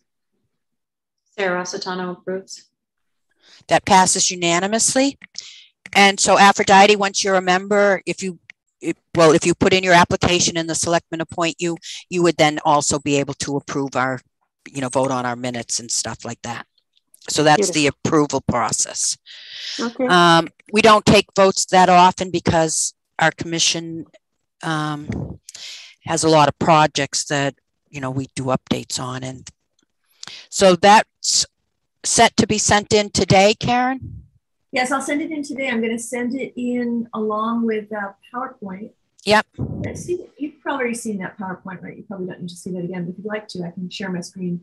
I don't think we need to show the PowerPoint on the minutes Okay. discussion because we have a lot to get over for the rest of the meeting. Fine. But I will make sure to send it to Aphrodite that she can see it at some point. That sounds great. Um, I'm just going to go to the next agenda item is the fiscal year 2023 budget. Like So can you bring that up, Well, yes. Karen? Thank you. So I have to meet with the, the, the fiscal team of the town in I think it's November 4th. There's a date coming up. Um, and we have to put in our request. So back see when we were at 1,500. Yeah. In 2020, we asked to go up to $3,000 to be, I believe it was 3,000 to be equally matched with the lowest funded commission in the town. Mm-hmm. And there was a lot of pushback, and we agreed to go up to two. At our request would be two thousand dollars, and that we would the next year come back, you know, to increase it to the three thousand. Um, the next year we were in a fiscal not so great, so we didn't. If you go to, I got to move you, Karen, because you're on top of the. Sorry, I had to move the panelists to the top of my screen. Um, so we're at 2000 for 2020, 2021, and 2022. I just want to remind us that our goal was to get up to a $3,000 budget so we could have more programming and more um, activities. I think, and I'm open to other people's points, but we're still in a COVID situation. I, I don't know that right now we need to go to the to a request. I think the I think you know with um, decreased business revenue for taxes you know it's not a great time to be asking for more for our commission. I think i'd like to have a full year of um, maybe trying to do more programming to justify our request, although I think the request is justified. But I'd like to recommend that we stay at the 2000 for this year, but acknowledge that we are looking to increase our budget once things stabilize with COVID and, um, you know, and eventually town budget's always going to be you know not having enough money but you know we shouldn't be the ones who take the short shift always and we're short money compared to what some other departments and commissions get. So I don't think keeping that on the radar is a bad thing to let them know that we're not asking for more this year, but we intend to in the future. We put it off in 2020. I don't know if that makes sense to you, but so my recommendation is that we vote on keeping it the same and depending on my conversation with the finance team, which is the town accountant, the town treasurer, the assessor, maybe Mark Purple, the town administrator. I'm not sure who all else goes in um, to discuss this with us, but, um, and I'm not sure if this, my understanding, see the different line items? That's a guesstimate on what we use and if we anything that because it's not personnel if we need to say use office supplies um, and we spend it all the 500 that we can use it for you know any they're interchangeable they're sort of a, a best estimate of where you're going to fund your things but a lot of times our funding doesn't come under those issues so they're the best ones we could find you have to have a line item is any comments sarah karen no, I, I, think your strategy really makes sense. Um, Freddie, I don't think we should be asking for more money right now because things are difficult. But um, but we do, I think, need a bigger um, budget in the future as as uh, things start opening up more. Yeah, I think we can have a plan for how we would spend it because if they ask us, I don't really have one right now.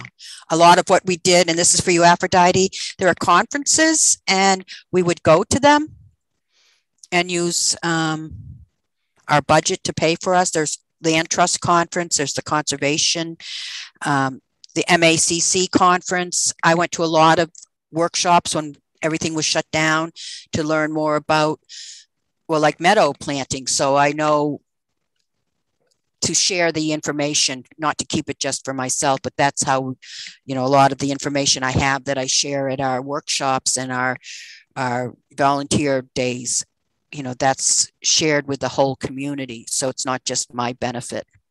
Also i'm donating a huge amount of my time going to the workshop. So um, that was last year but we hope like in the past all the commissioners would go to a workshop. Remember, Karen, you, me, and um, gone to many of them. Yes. Yeah. Yeah, we went to the open space workshop, and Lisa Braccio and Meme Luttrell and I, back when it was the three of us, we we did quite a few of the land trust type ones and planning ones. Lots of information to learn, and then we get to share it with the community and help do our work better. So those are more Zoom meetings now, and you know, time is an issue for everyone. Not everyone's available when all of these things come up. So I was the main person doing it last year. But that would be available to our new member to get up to speed on some of the concepts that, you know, we, the others may be more familiar with. So, all right, do we want to keep it at this? Um, is there a motion? I can make a motion that we keep the budget at $2,000 for the uh, fiscal year 2022. With the caveat that we uh, acknowledge that we are will be looking for more in the following year. Yes, with the caveat that future 2023 we anticipate requesting an increase. Second that motion. Okay, all in favor? Karen? Karen Cvikovich is in favor. Sarah? Sarah Rossitano in favor. Freddie Gillespie in favor. That passes unanimously. Next. Uh, the next item is um, the library. Hmm. Yes, the library. Okay. So okay. everyone here has been involved. We are, we have the flower garden area. I call it flower garden, the pollination preservation garden. It's mostly nectar plants. We need both nectar and pollen. Most of the pollen plants are shrubs. They weren't fitting in the area of the planting for the what is mostly flowers.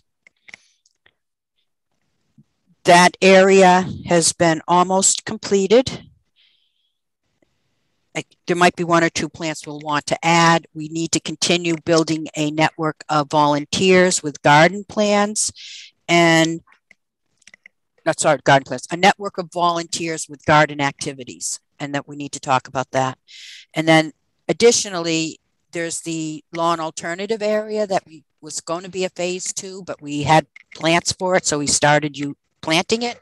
It's almost say it's over, it's about 75%, 80% planted. We need to put down some burlap to save it um, from getting all weeds over the winter and then finish planting it in the, in the spring. In the meantime, we already approved um, that we were applying for a CPA grant for the phase two, which would be, you know, where the trees are, the, the the um, in the corner to clean that out, make it a shade garden using some of the more shady plants, and to also add in uh, shrubs on Dr. Gegear's list, as well as a bench, and we need some edging around the garden area. I saw some really nice granite type ones at the MFA, they have some plantings on their front lawn. I think that would be helpful. There's invasive species to be dealt with. The whole lawn area is full of invasive um, creeping Charlie. It's not a lawn, it's and those creeping Charlies creep and it will be getting it, you know, keeps climbing into the gardens. So I think that's another um, plant material we want to remove, as well as there's a lot of storm stormwater issues. I don't know if it's stormwater or just it's a high water table, and the whole lawn area floods and stays flooded for a long time after a rain event. And with these heavy rain events, you think it looks like lawn and you step in it and it's three inches of water. So, one of the things is how can we mitigate that impact of um, basically not being able to use the lawn area because it's a standing puddle for a lot of time. So those are the issues we want to satisfy. We don't have a plan. We would be looking to write the application, get buy-in from the library and buy-in. I have to go to recreation committee because commission because I believe this is a passive recreation project. CPA will want their you know approval of it. So does all of that sound in line with what we've been talking about and moving forward with this application? Is that a yes, Karen? Yes. Sarah? yep, that's a, that's definitely a yes. Okay, so I'll move forward with the application. Um, Sarah, as a liaison, yeah. did you have anything you wanted to update us on? Anything that's been going on or communications with the library you want to share? Um, I haven't had much recently, so um, I don't think they're currently interested in doing programming, is what it seems like um, because they're pretty booked. Right. What they say. So we're just going to have to, I think, wait till early spring or try to think of things maybe for early spring. But as far as until then, I think I think that they say that their programming is pretty full. So my takeaway there, a little bit different, is that the library does programming that we would collaborate with them on, and they also need things to be planned well ahead of time. And as a volunteer organization, we don't always get things put together as far in advance as they need. So that's something for us to try to work better on and um, try to find a date for the spring to set and see what we would work with them on. In the meantime, we have the seed exchange, the, the wildflower, sorry, the um, winter sow program. And I would like to work and get permission from Ryan. So it would be an open space preservation commission project. We're going, you know, we are doing the winter sow project. Um, we're collecting seeds. We have a great volunteer helping us out already. Uh, it will be more species than we had last year. I'd like to have an event at the pollination preservation garden. You know, we'd have to bring our own tables is one of the things. There's there's no support from the library staff or equipment, period. So we'd have to bring our own tables and um, I think we could benefit by doing it there because we're trying to highlight the library and bring programming at the library, even though it wouldn't be a quote library open space commission joint project. Yes. But what we could do is, I think Ryan said he could advertise for us and that we could, you know, use the blog and social media. Mm-hmm. We'd have to figure out how to get people to register, I think, because depending on how many tables we have, how many people could come. And this would be to be doing sorting and cleaning. And then later we don't have the winter sow until January, beginning of January. And I don't know that that's appropriate to do in a group outside. And mm-hmm. depending on what COVID numbers are, maybe we could do that inside at the senior center. So let, uh-huh. we'll look at we'll look for that. But are, what do you think about having bringing tables? I know um, one of our volunteers, Emily Van Nort, brought a lot of tables to um, an event last year we did at the uh, Beecology Research Garden. I mean, it'd be a lot easier for us to go somewhere else we all know that but we're trying to highlight this garden and get people there to see and to hear about what we're doing. So it would be a you know here's the garden here's what we're doing and here let's clean some seeds. And here we can collect even some seeds from the plants at the garden a few of them have seeds that we could use which would be a seed collection um, sort of a de- more of a demo than really providing the seeds we need. But you know why not use some how does that sound? Should I try to put that together? That sounds good to me, Freddie. Yeah. So we can arrange a date by email, but if we're in agreement with that, I'll reach out to Ryan when I'm reaching out about the CPA grant. Um, the other thing I, I did want to say there was some in one of the emails from your liaison at the library. Mm-hmm. Sarah, did you want to go over that or I'll just mention what I, because I read the email? I think we all did, right? You forwarded it to all of us. Yeah. There were some complaints, and we never want complaints um, to rectify. I think some of them were, my opinion is, were they were out of line.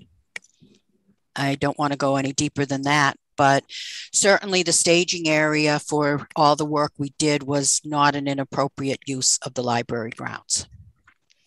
We have no storage area. We put stuff neatly in the corner, out of the way, and we were there two, three, four times a week working.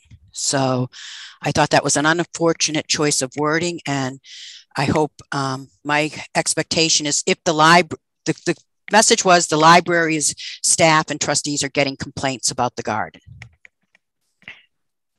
I am there all the time and I talk to people all the time. I have not heard one complaint. I have heard questions, but not complaints. I mean, so you can't have a work zone, an active work zone, without something, you know, temp- a temporary temporary housing zone of supplies and tools. It's just not really feasible, possible. So it's I I think 90 i don't know. I think the majority of people would understand that so i don't understand where it comes from but right. So i'm just bringing it up so we should all be aware. And if we go into it next year that we're we make that very clear going into when we start working again and have an agreement i guess um, the other complaint was about the pink flags and you know part of this is i'm I'm working in 36 communities where these gardens are going in. This is the standard. It didn't even occur to me somebody might not get it. It's not your standard type of garden installation. It's not the planting technique, the um, establishment period. Those flags have to stay at each individual plant because what happens in the spring is native plants emerge later than weeds. And people who are going to be our volunteers, and even people who have been working on it, is that a weed or is it a plant? This helps you not pull out expensive plants that we have put in by mistake because you're weeding. Yep. And it also helps us, you know, and it was interesting because we did a workshop last night, the Native Pollinator Task Force of the Metro West Conservation Alliance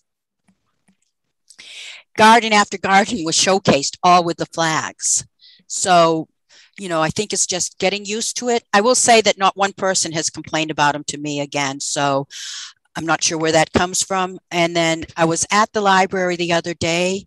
I was just uh, barely I was there to look at the um, take measurements, and as I was leaving, I I was driving by and I saw some woman over there walking, looking at it, and I went up to her and had a conversation, and then she stayed with her her friend was she was meeting a friend there and they were fascinated and interested by it and not compl- you know i was i thought she might be wondering what was going on and again positive um, very positive comments so i do know there was another comment that we haven't been uh, um, providing information so we we did go put a sign up for Heritage Day, it's not the perfect sign, but to get it up in two days was pretty mm-hmm. amazing. Emily Van Nort did the um, design. It's not exactly necessarily what we would end up with, but it says Pollination Preservation Garden. And then underneath it, it says funded by the Open Space Preservation Commission and the library's LSTA grant, because we have used our funds to supplement um, the wonderful resource we got from the library.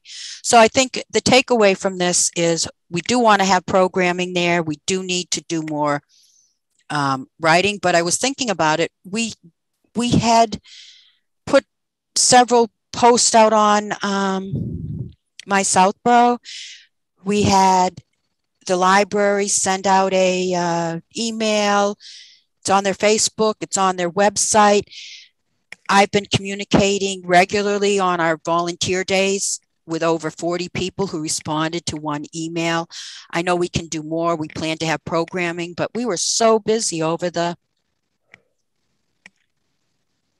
so busy over the summer working to get the garden in. It didn't leave a lot of breath for writing up, you know, more more descriptive um, information. So it's an area we need to improve on over the winter, I would say. What is it? You know, I think one of the ideas is to have signage with QR codes. Yeah. So we can do that.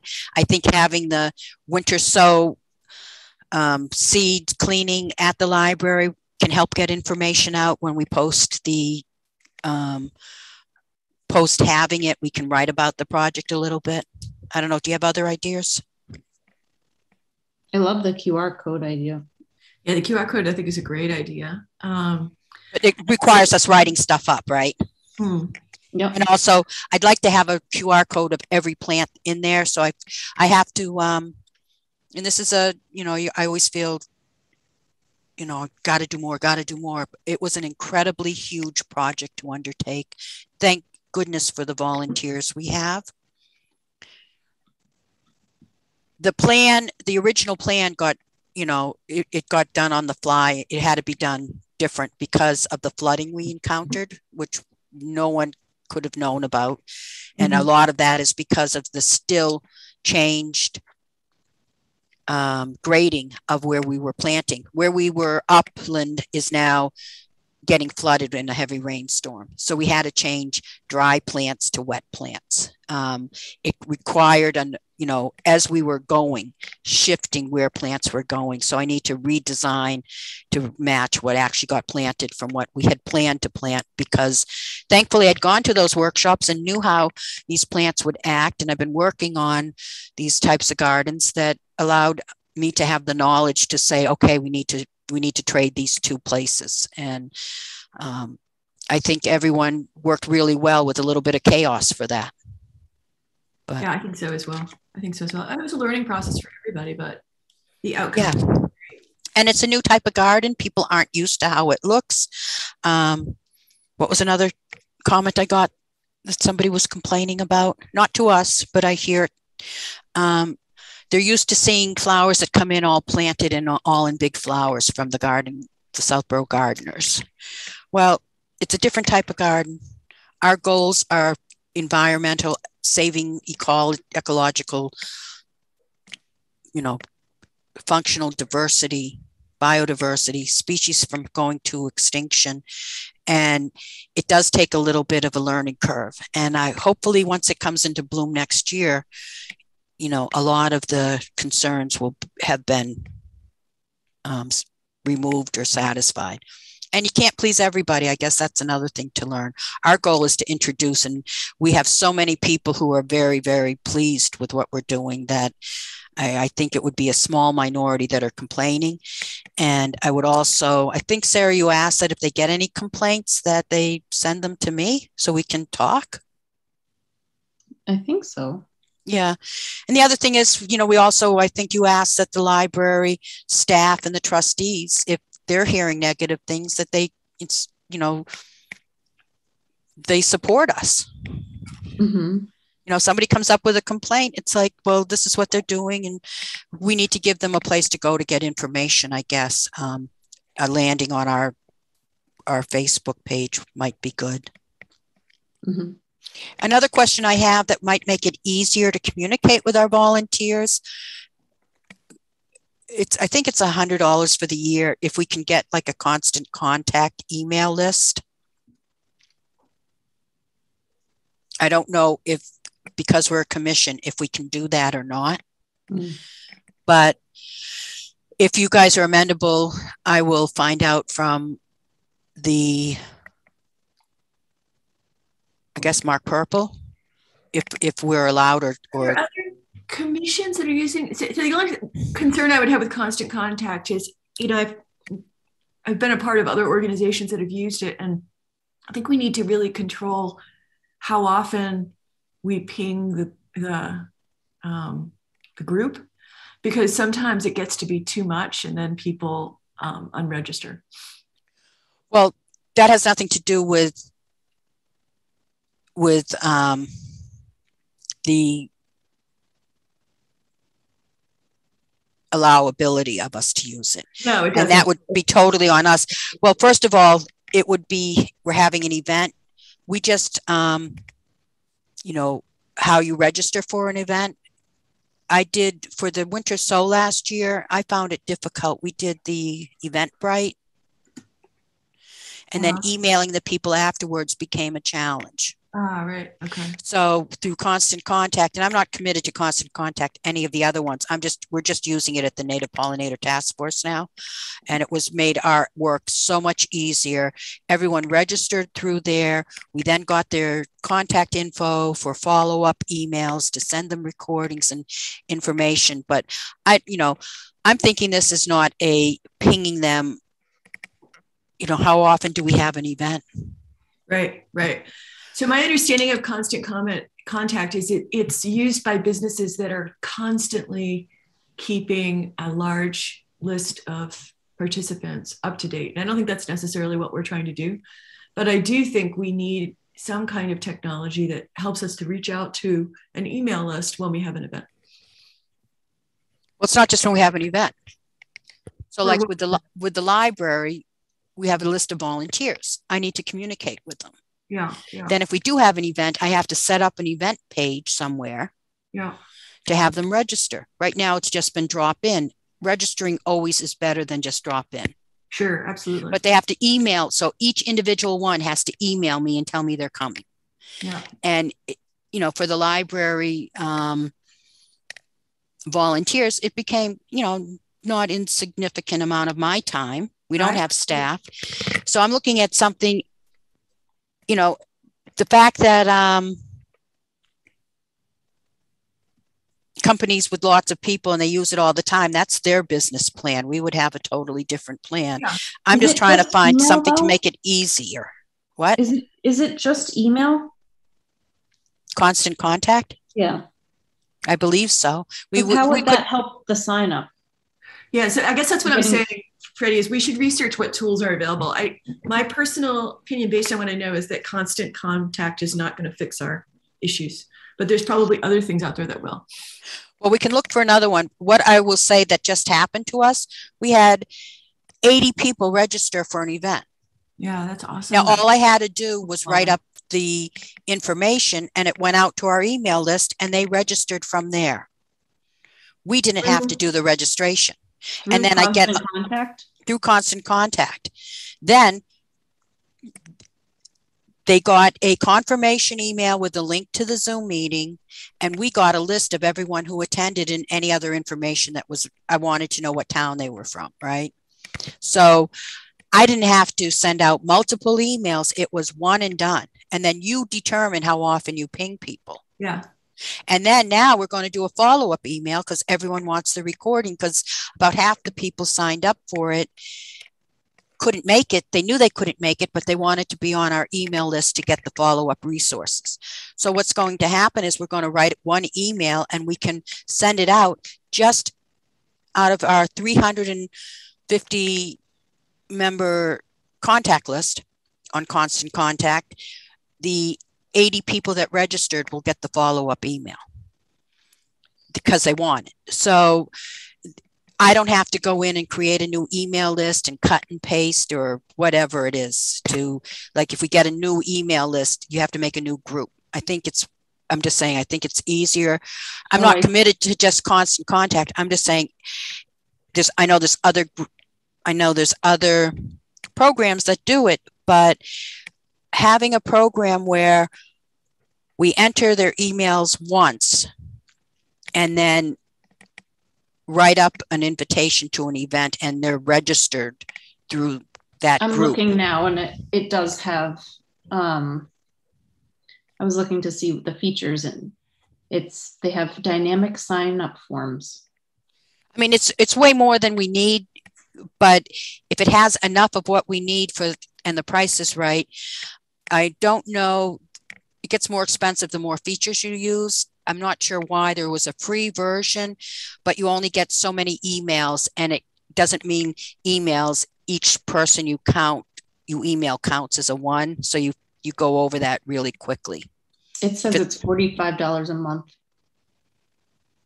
Yeah, no, we're paying 20. So there's got to be a lesser version. For up to 500 contacts. Yeah, we. It's 20 a month, but that does not include the um, surveys, polls, and event registration. Geez, I don't know how we did it because we paid 20 and we got the, the event registration taken care of. Mm we can look into it. I mean, I just want us to be on the same page yep. at this. First, we need to find out if we can even do this because there might be something through the town's official. Um, you know, we have to abide by open meeting law and how are other groups managing it. I'm mm-hmm. not sure. We vote on something, we're having a program, we're sending out information we agree on that's discussed in a um, discussed in a public meeting, then we send it out. I don't think that's any different than what we're doing already with our programming. Mm-hmm. I'm just saying the winter sow last year was huge, huge, huge it time. So huge. Yeah. And then we didn't, I didn't follow up with the people. It was too hard to do the emails to the whole group. Um, so I just want to look at it into it first to find out what's legally okay, and then if we can do it. Also, um, putting more, we want to be more proactive. Not everyone is, you know, getting information on. Well, I'll say this the Trails Committee has a Facebook group. Now, I was told that committees couldn't have, or commissions couldn't have Facebook, but they're using it. So I'd like to find out how, if that could benefit us, because a lot of our garden stuff is um, picture specific and or how to use the website more effectively not everyone's on facebook so in this day of social media you have to be everywhere. Email websites facebook. I'm not going into twitter and all of that but need to be so we need to be creating documents to put on our website but creating documents takes time. So i guess to move on from this do you think i should investigate what kind of email program we're allowed to use yeah for sure okay so that will be a meeting for the for the next one should we pick a date for a we'll do it by email, picking a date to have a winter sow to see if we can do it at the library. And if not, I think the easiest place may be check the uh, senior center. Um, it's actually called Cordaville Hall. If we can do anything there. And then the third place would be Breakneck Hill. Beecology Research Garden for a cleaning and sorting of the seeds. Does that sound good? Yep. Yeah, that, okay. sounds, good. that sounds good.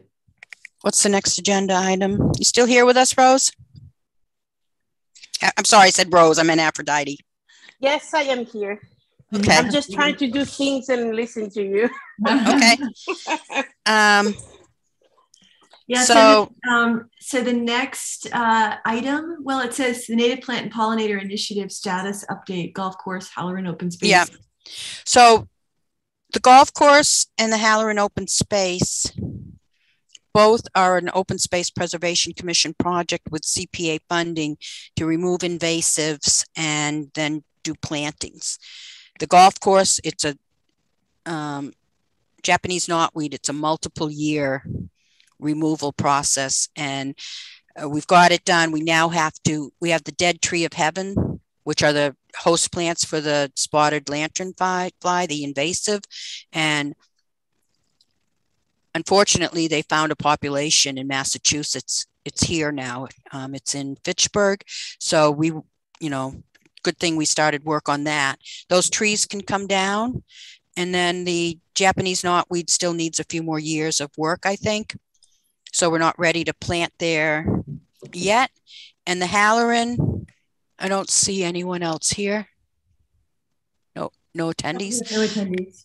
Um, Sam is working with the state to get access through the Mass Pike. Um, that was based on um, a concept that the Open Space Preservation Commission had when we were looking at the property through GIS and noticing that there was, if we could walk on the Mass Pike land, we could get into the property. And getting permission from the Department of Transportation takes some time. It looks like it might be going forward. Once that happens, because we can't get the treatment for the invasive species guys to get in there until we have access. And that's the best um, access. The other legal access is through um, a trail, a narrow trail up a hill into another property and walking over. And the trail is like in someone, it looks like it's in someone's front yard. It's not really the way we want to access that land. Um, Breakneck Hill I don't know, we're still working on the Beecology Research Garden. And that's an initiative ours with Dr. Gegear. We had a big, busy work day last weekend and got a lot of work done. We need some more work. Plus, a Wildflower Meadow is going in. Um, and then the Pollination Preservation Garden at Beals Preserve. It's a partnership we have with the Southborough Open Land Foundation. That there, we did the cardboard and the you know, we're doing the soil prep. It will be ready. We're actually going to put some of the plants from last year's winter sow in right now as a holding spell. I think um, Aphrodite, some of the plants you brought that were excess from yours last, at what you brought down to um, Breakneck Hill, a few yes. of those will be going in there. So nice. we're I'm taking what I need for Breakneck Hills Beecology Garden and plant. We'll be planting those there, and then the remainder will be going into this other location that someday you and I and this commission should take a walk and take a look at how it's going. But we had two volunteers. Catherine um, Krostoff is our project manager with SOLF. She's, you know, our volunteer working with the, the project. And she and Gary, who's another volunteer, he's from Northborough though, um, we're over there weeding um, on Tuesday to get ready for putting those plants in. So that's a huge success going forward. So that's it from that. Um, master plan update. Do you have anything to give us, Karen? I, I think we said we need to have a whole meeting for it. Yeah, so we are in the process of finalizing. Um, I do have the current draft of the chapter which um, I can send to you, Sarah. I sent it to Freddie. I guess I can't send it to you guys, I guess, together. Is that right, Freddie, in terms of open meeting law? No, that's so let's be clear. Open meeting law.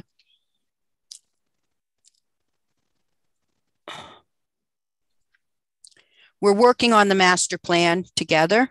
Yeah. We've seen the drafts, we discuss it in meetings. So, yes, for review, we can all get it. It's like sending a plan. Great. So I'll, I'll send it out. Um, there's been a few minor tweaks to it. Um, I've been in close collaboration with Kat from uh, Trails and with Kristen from Rec. Um, it's a little confusing when you look at the chapter um, because, I mean, I found it confusing because um, of the way they require it be set up. So I'll just alert you um, a little bit to that. Uh, so let me tell you specifically what I mean by that. Just opening it up here. Okay. So there's a requirement that there be um, a section for open space, so that you know neatly fits into what we're doing, as well as a session a section for um, natural resources, and it has to be called that.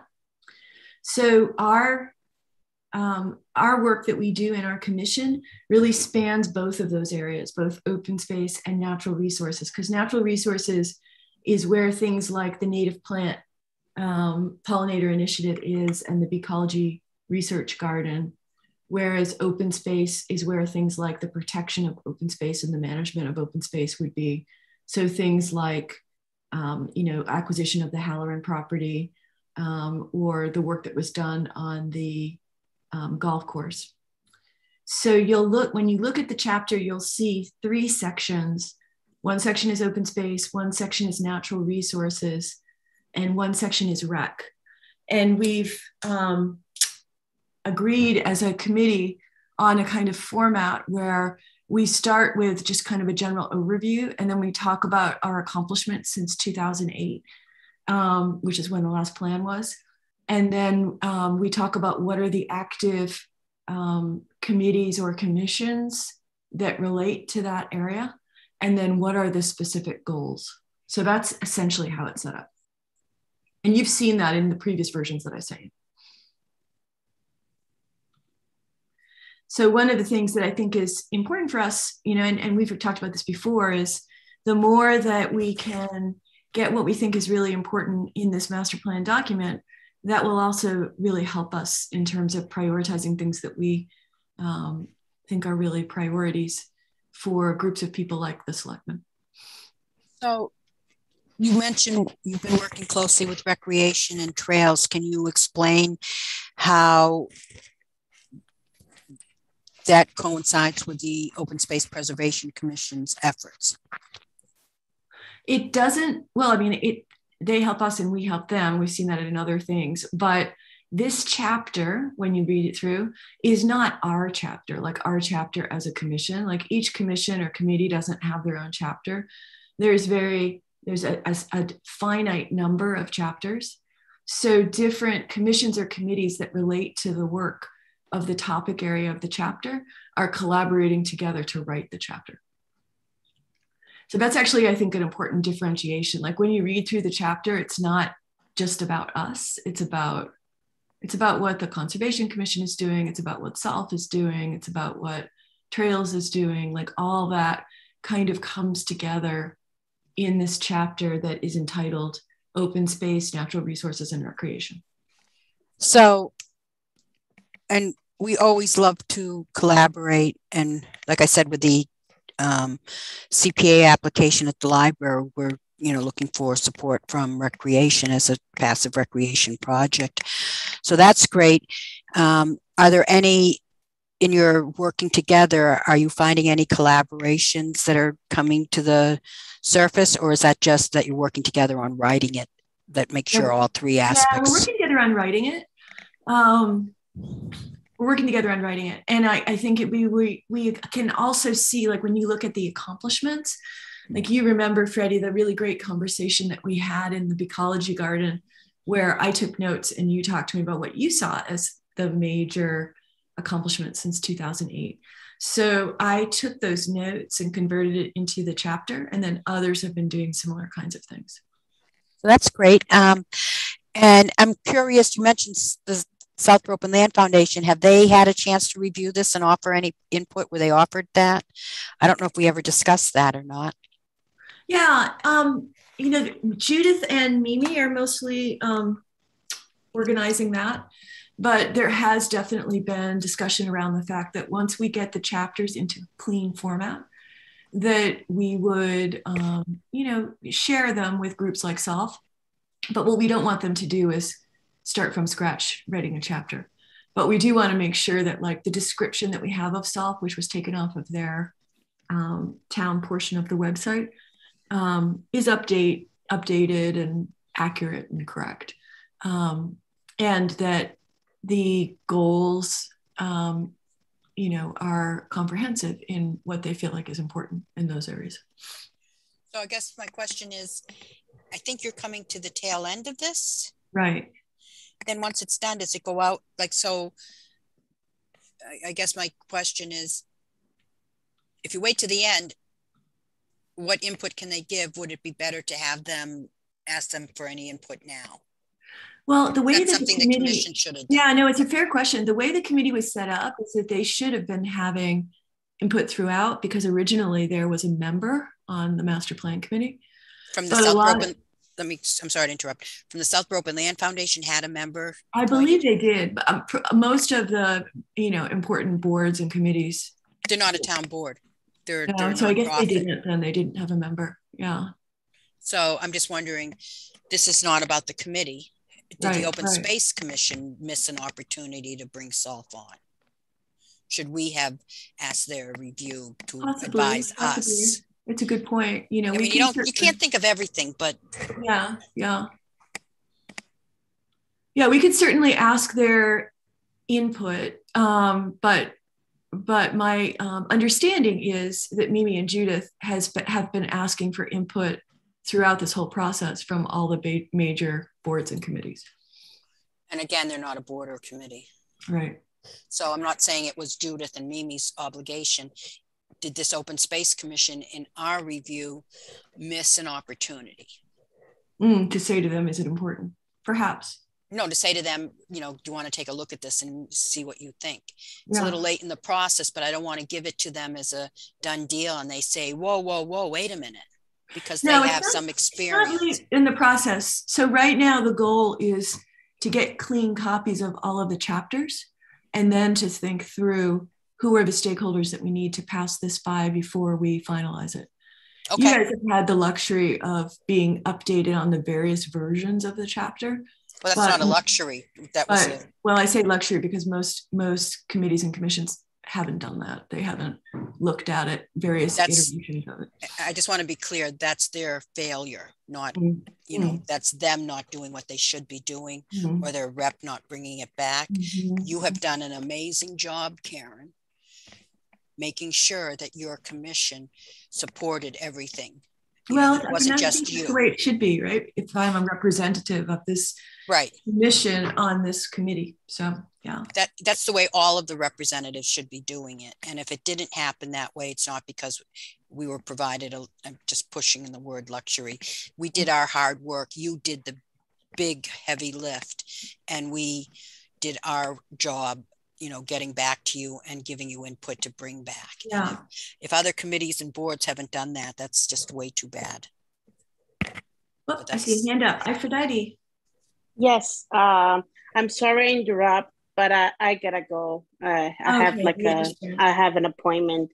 Yeah. So I apologize that I cannot stay at the, at the end. Um, Freddie, we can talk and we can go ahead and do the application, okay? Wonderful. Oh, that sounds happy that you didn't run screaming. This was a little bit of a different meeting and we're actually almost done. So you stayed for the, almost the whole thing. So Yeah, thank you, okay. Aphrodite. Thank, thank you so much. Thank you, Aphrodite. I'm so happy we're- to have you. as Thank you, part Aphrodite. Yeah, we're actually running a little over that we thought we would be meeting. So I think um, the next step is we will try to schedule a meeting to go over the whole thing. Karen, Yeah, Where that we would be devote great. time So to I'll, it. I'll send out the most recent version. I'll also bring up to Judith and Meme whether or not we should run it by at this stage, um, SOLF in a more formal way. yeah, and it may be us bringing it to SOLF and us getting input to give to you to bring back. I don't know that it's the whole Yeah. committee should be doing that. Yeah. I think it was maybe maybe the Open Space Commission um, might have missed an opportunity. Mm, mm. Okay, so right.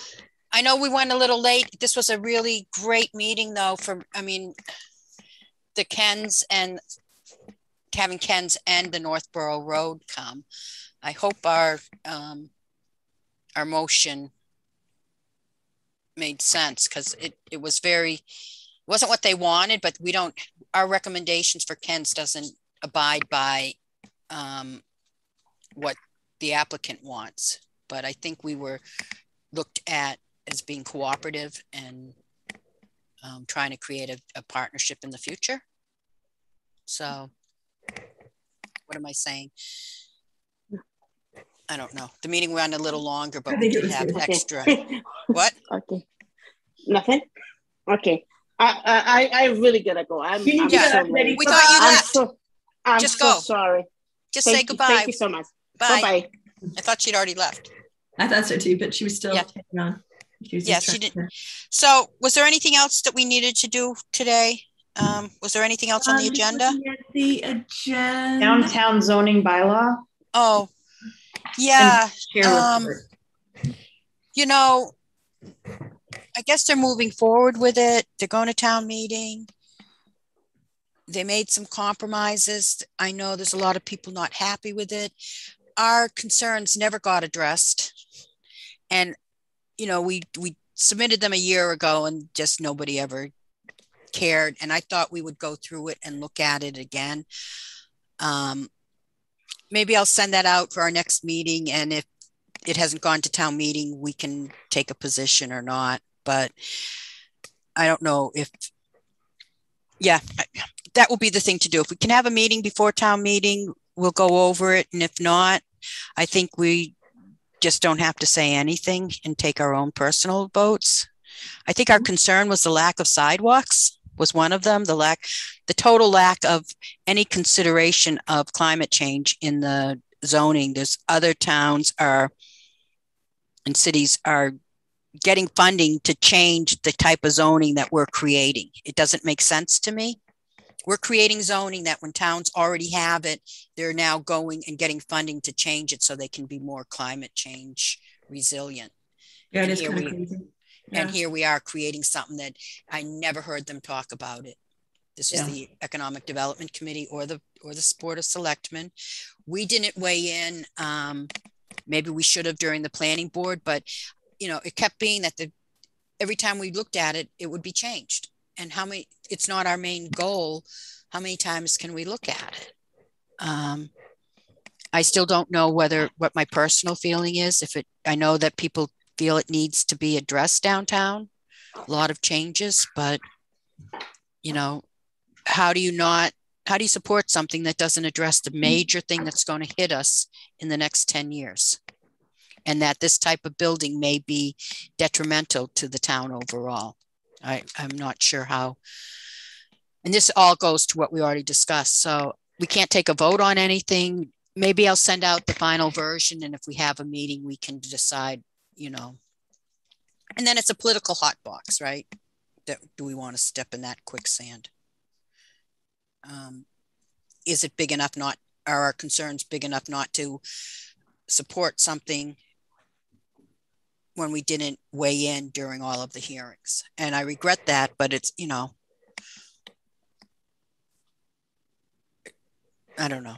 We, we did give our opinion a year ago and got a basically go pound sand response from the, um, that's how I'm taking it. That was the response I got. We got, not I, we. We're not doing this. We're not doing this. I don't know. Ask someone else. Basically, we were asked to give input, and that's what we got. And the, no one else ever got back to us. So there's a missed opportunity.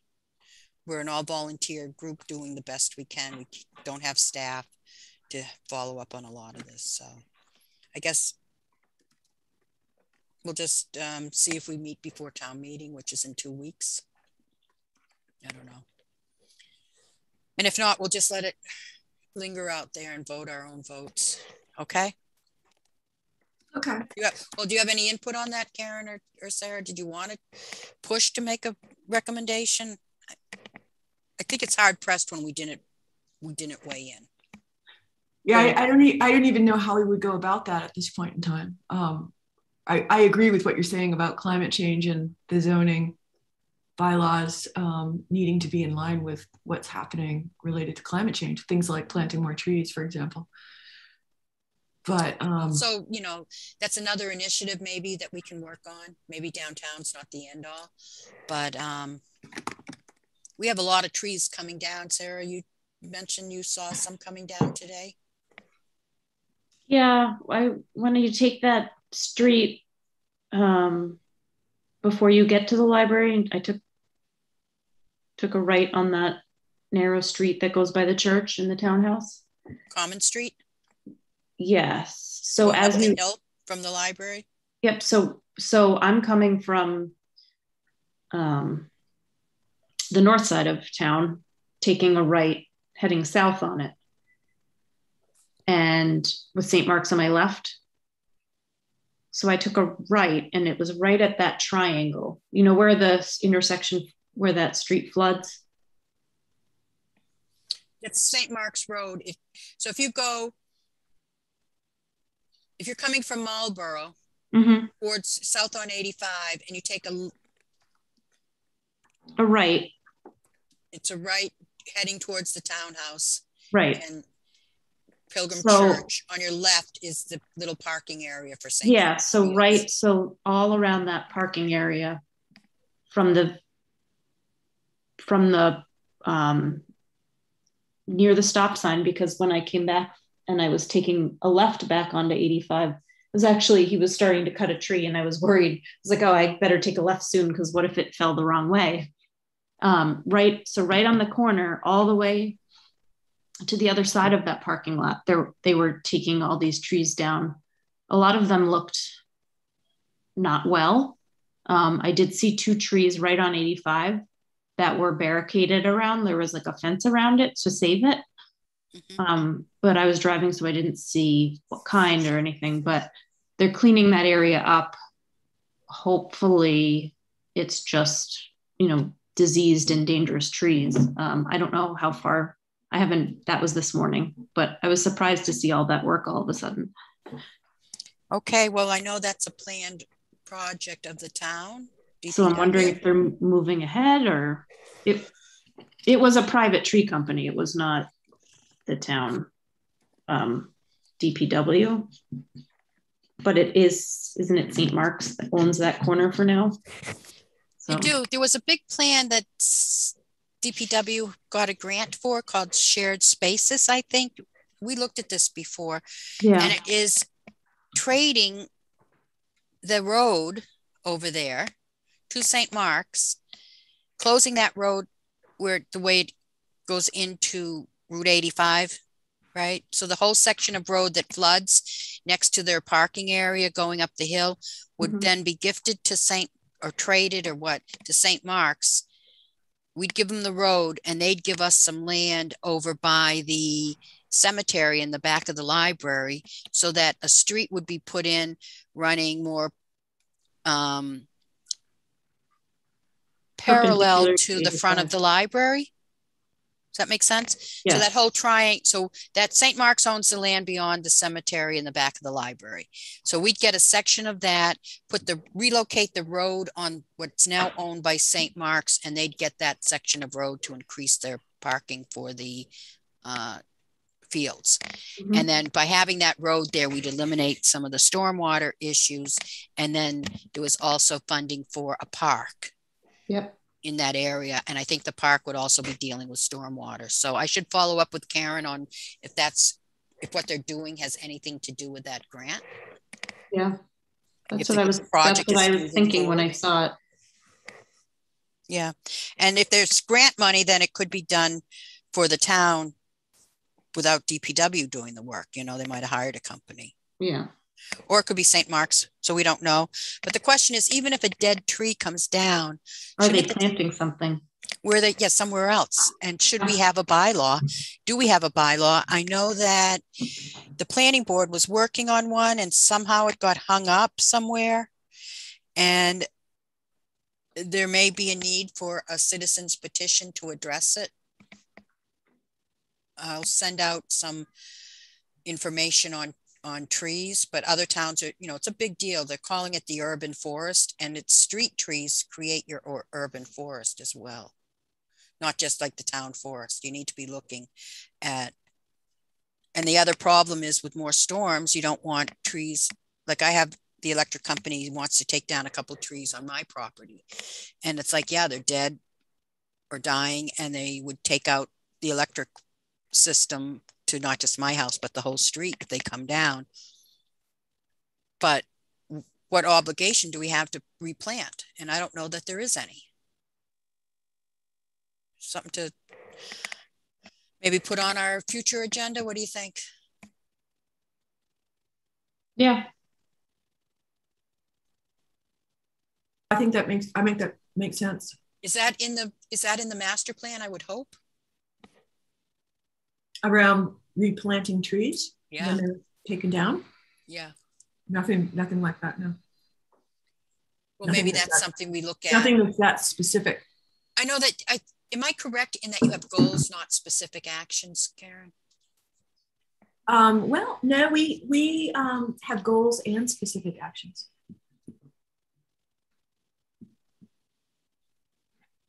Well, maybe before it's a done deal. So, so for each broad goal, for each broad goal, there are specific recommendations. And the idea is for the recommendations to be as measurable as possible.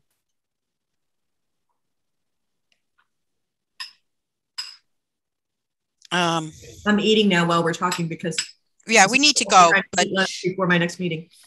I just, I just think that that should be something we look at and maybe there's, are there any other things? And I know it's late in the game to be adding No, this stuff. is, this is a good time to be thinking about that. Um, we can't, you know, start from scratch or completely change things, but we can certainly add things or modify wording or that kind of thing. Yeah. All right. Well, I think that's a great thing. Make sure the notes reflect, uh, the notes, the minutes reflect that, Sarah. For under the master plan, we sort of went back up. Mm-hmm. What did we go? I'm sorry. Did I jump? You know, did I jump an agenda item? What was master plan then downtown zoning? So, Oh, downtown zoning got us to the trees. Trees got us back to the master plan. yep. Um, I think we want to want to look at that closely. I would be surprised that it's not in there somewhere because I believe the planning board, you know, made us a tree city and um, or a tree town. I'm not sure what exactly it is, but I think it's something we want to look at. I'd also like our stewardship committee to take a look at it as well to get any input from them. Which, you know, we're we're for Breakneck Hill in the town forest, but we do have opinions on you know, managing those areas, which are townwide relevant, I think. So, yeah, the trees are a big deal. So, you know, one, our best hope at getting saved is, you know, carbon sequestration and stormwater issues. So, all right. Is there a motion to adjourn? I'll make a motion to adjourn the meeting. Is there a second? I'll second that motion. It is 11, 122. And are you in favor, Karen, I, I'm in favor. Yeah. Sarah, Sarah Rossitano in favor. Freddie Gillespie in favor? This meeting is adjourned. Thank you all. Thanks, guys. Take care. Yeah.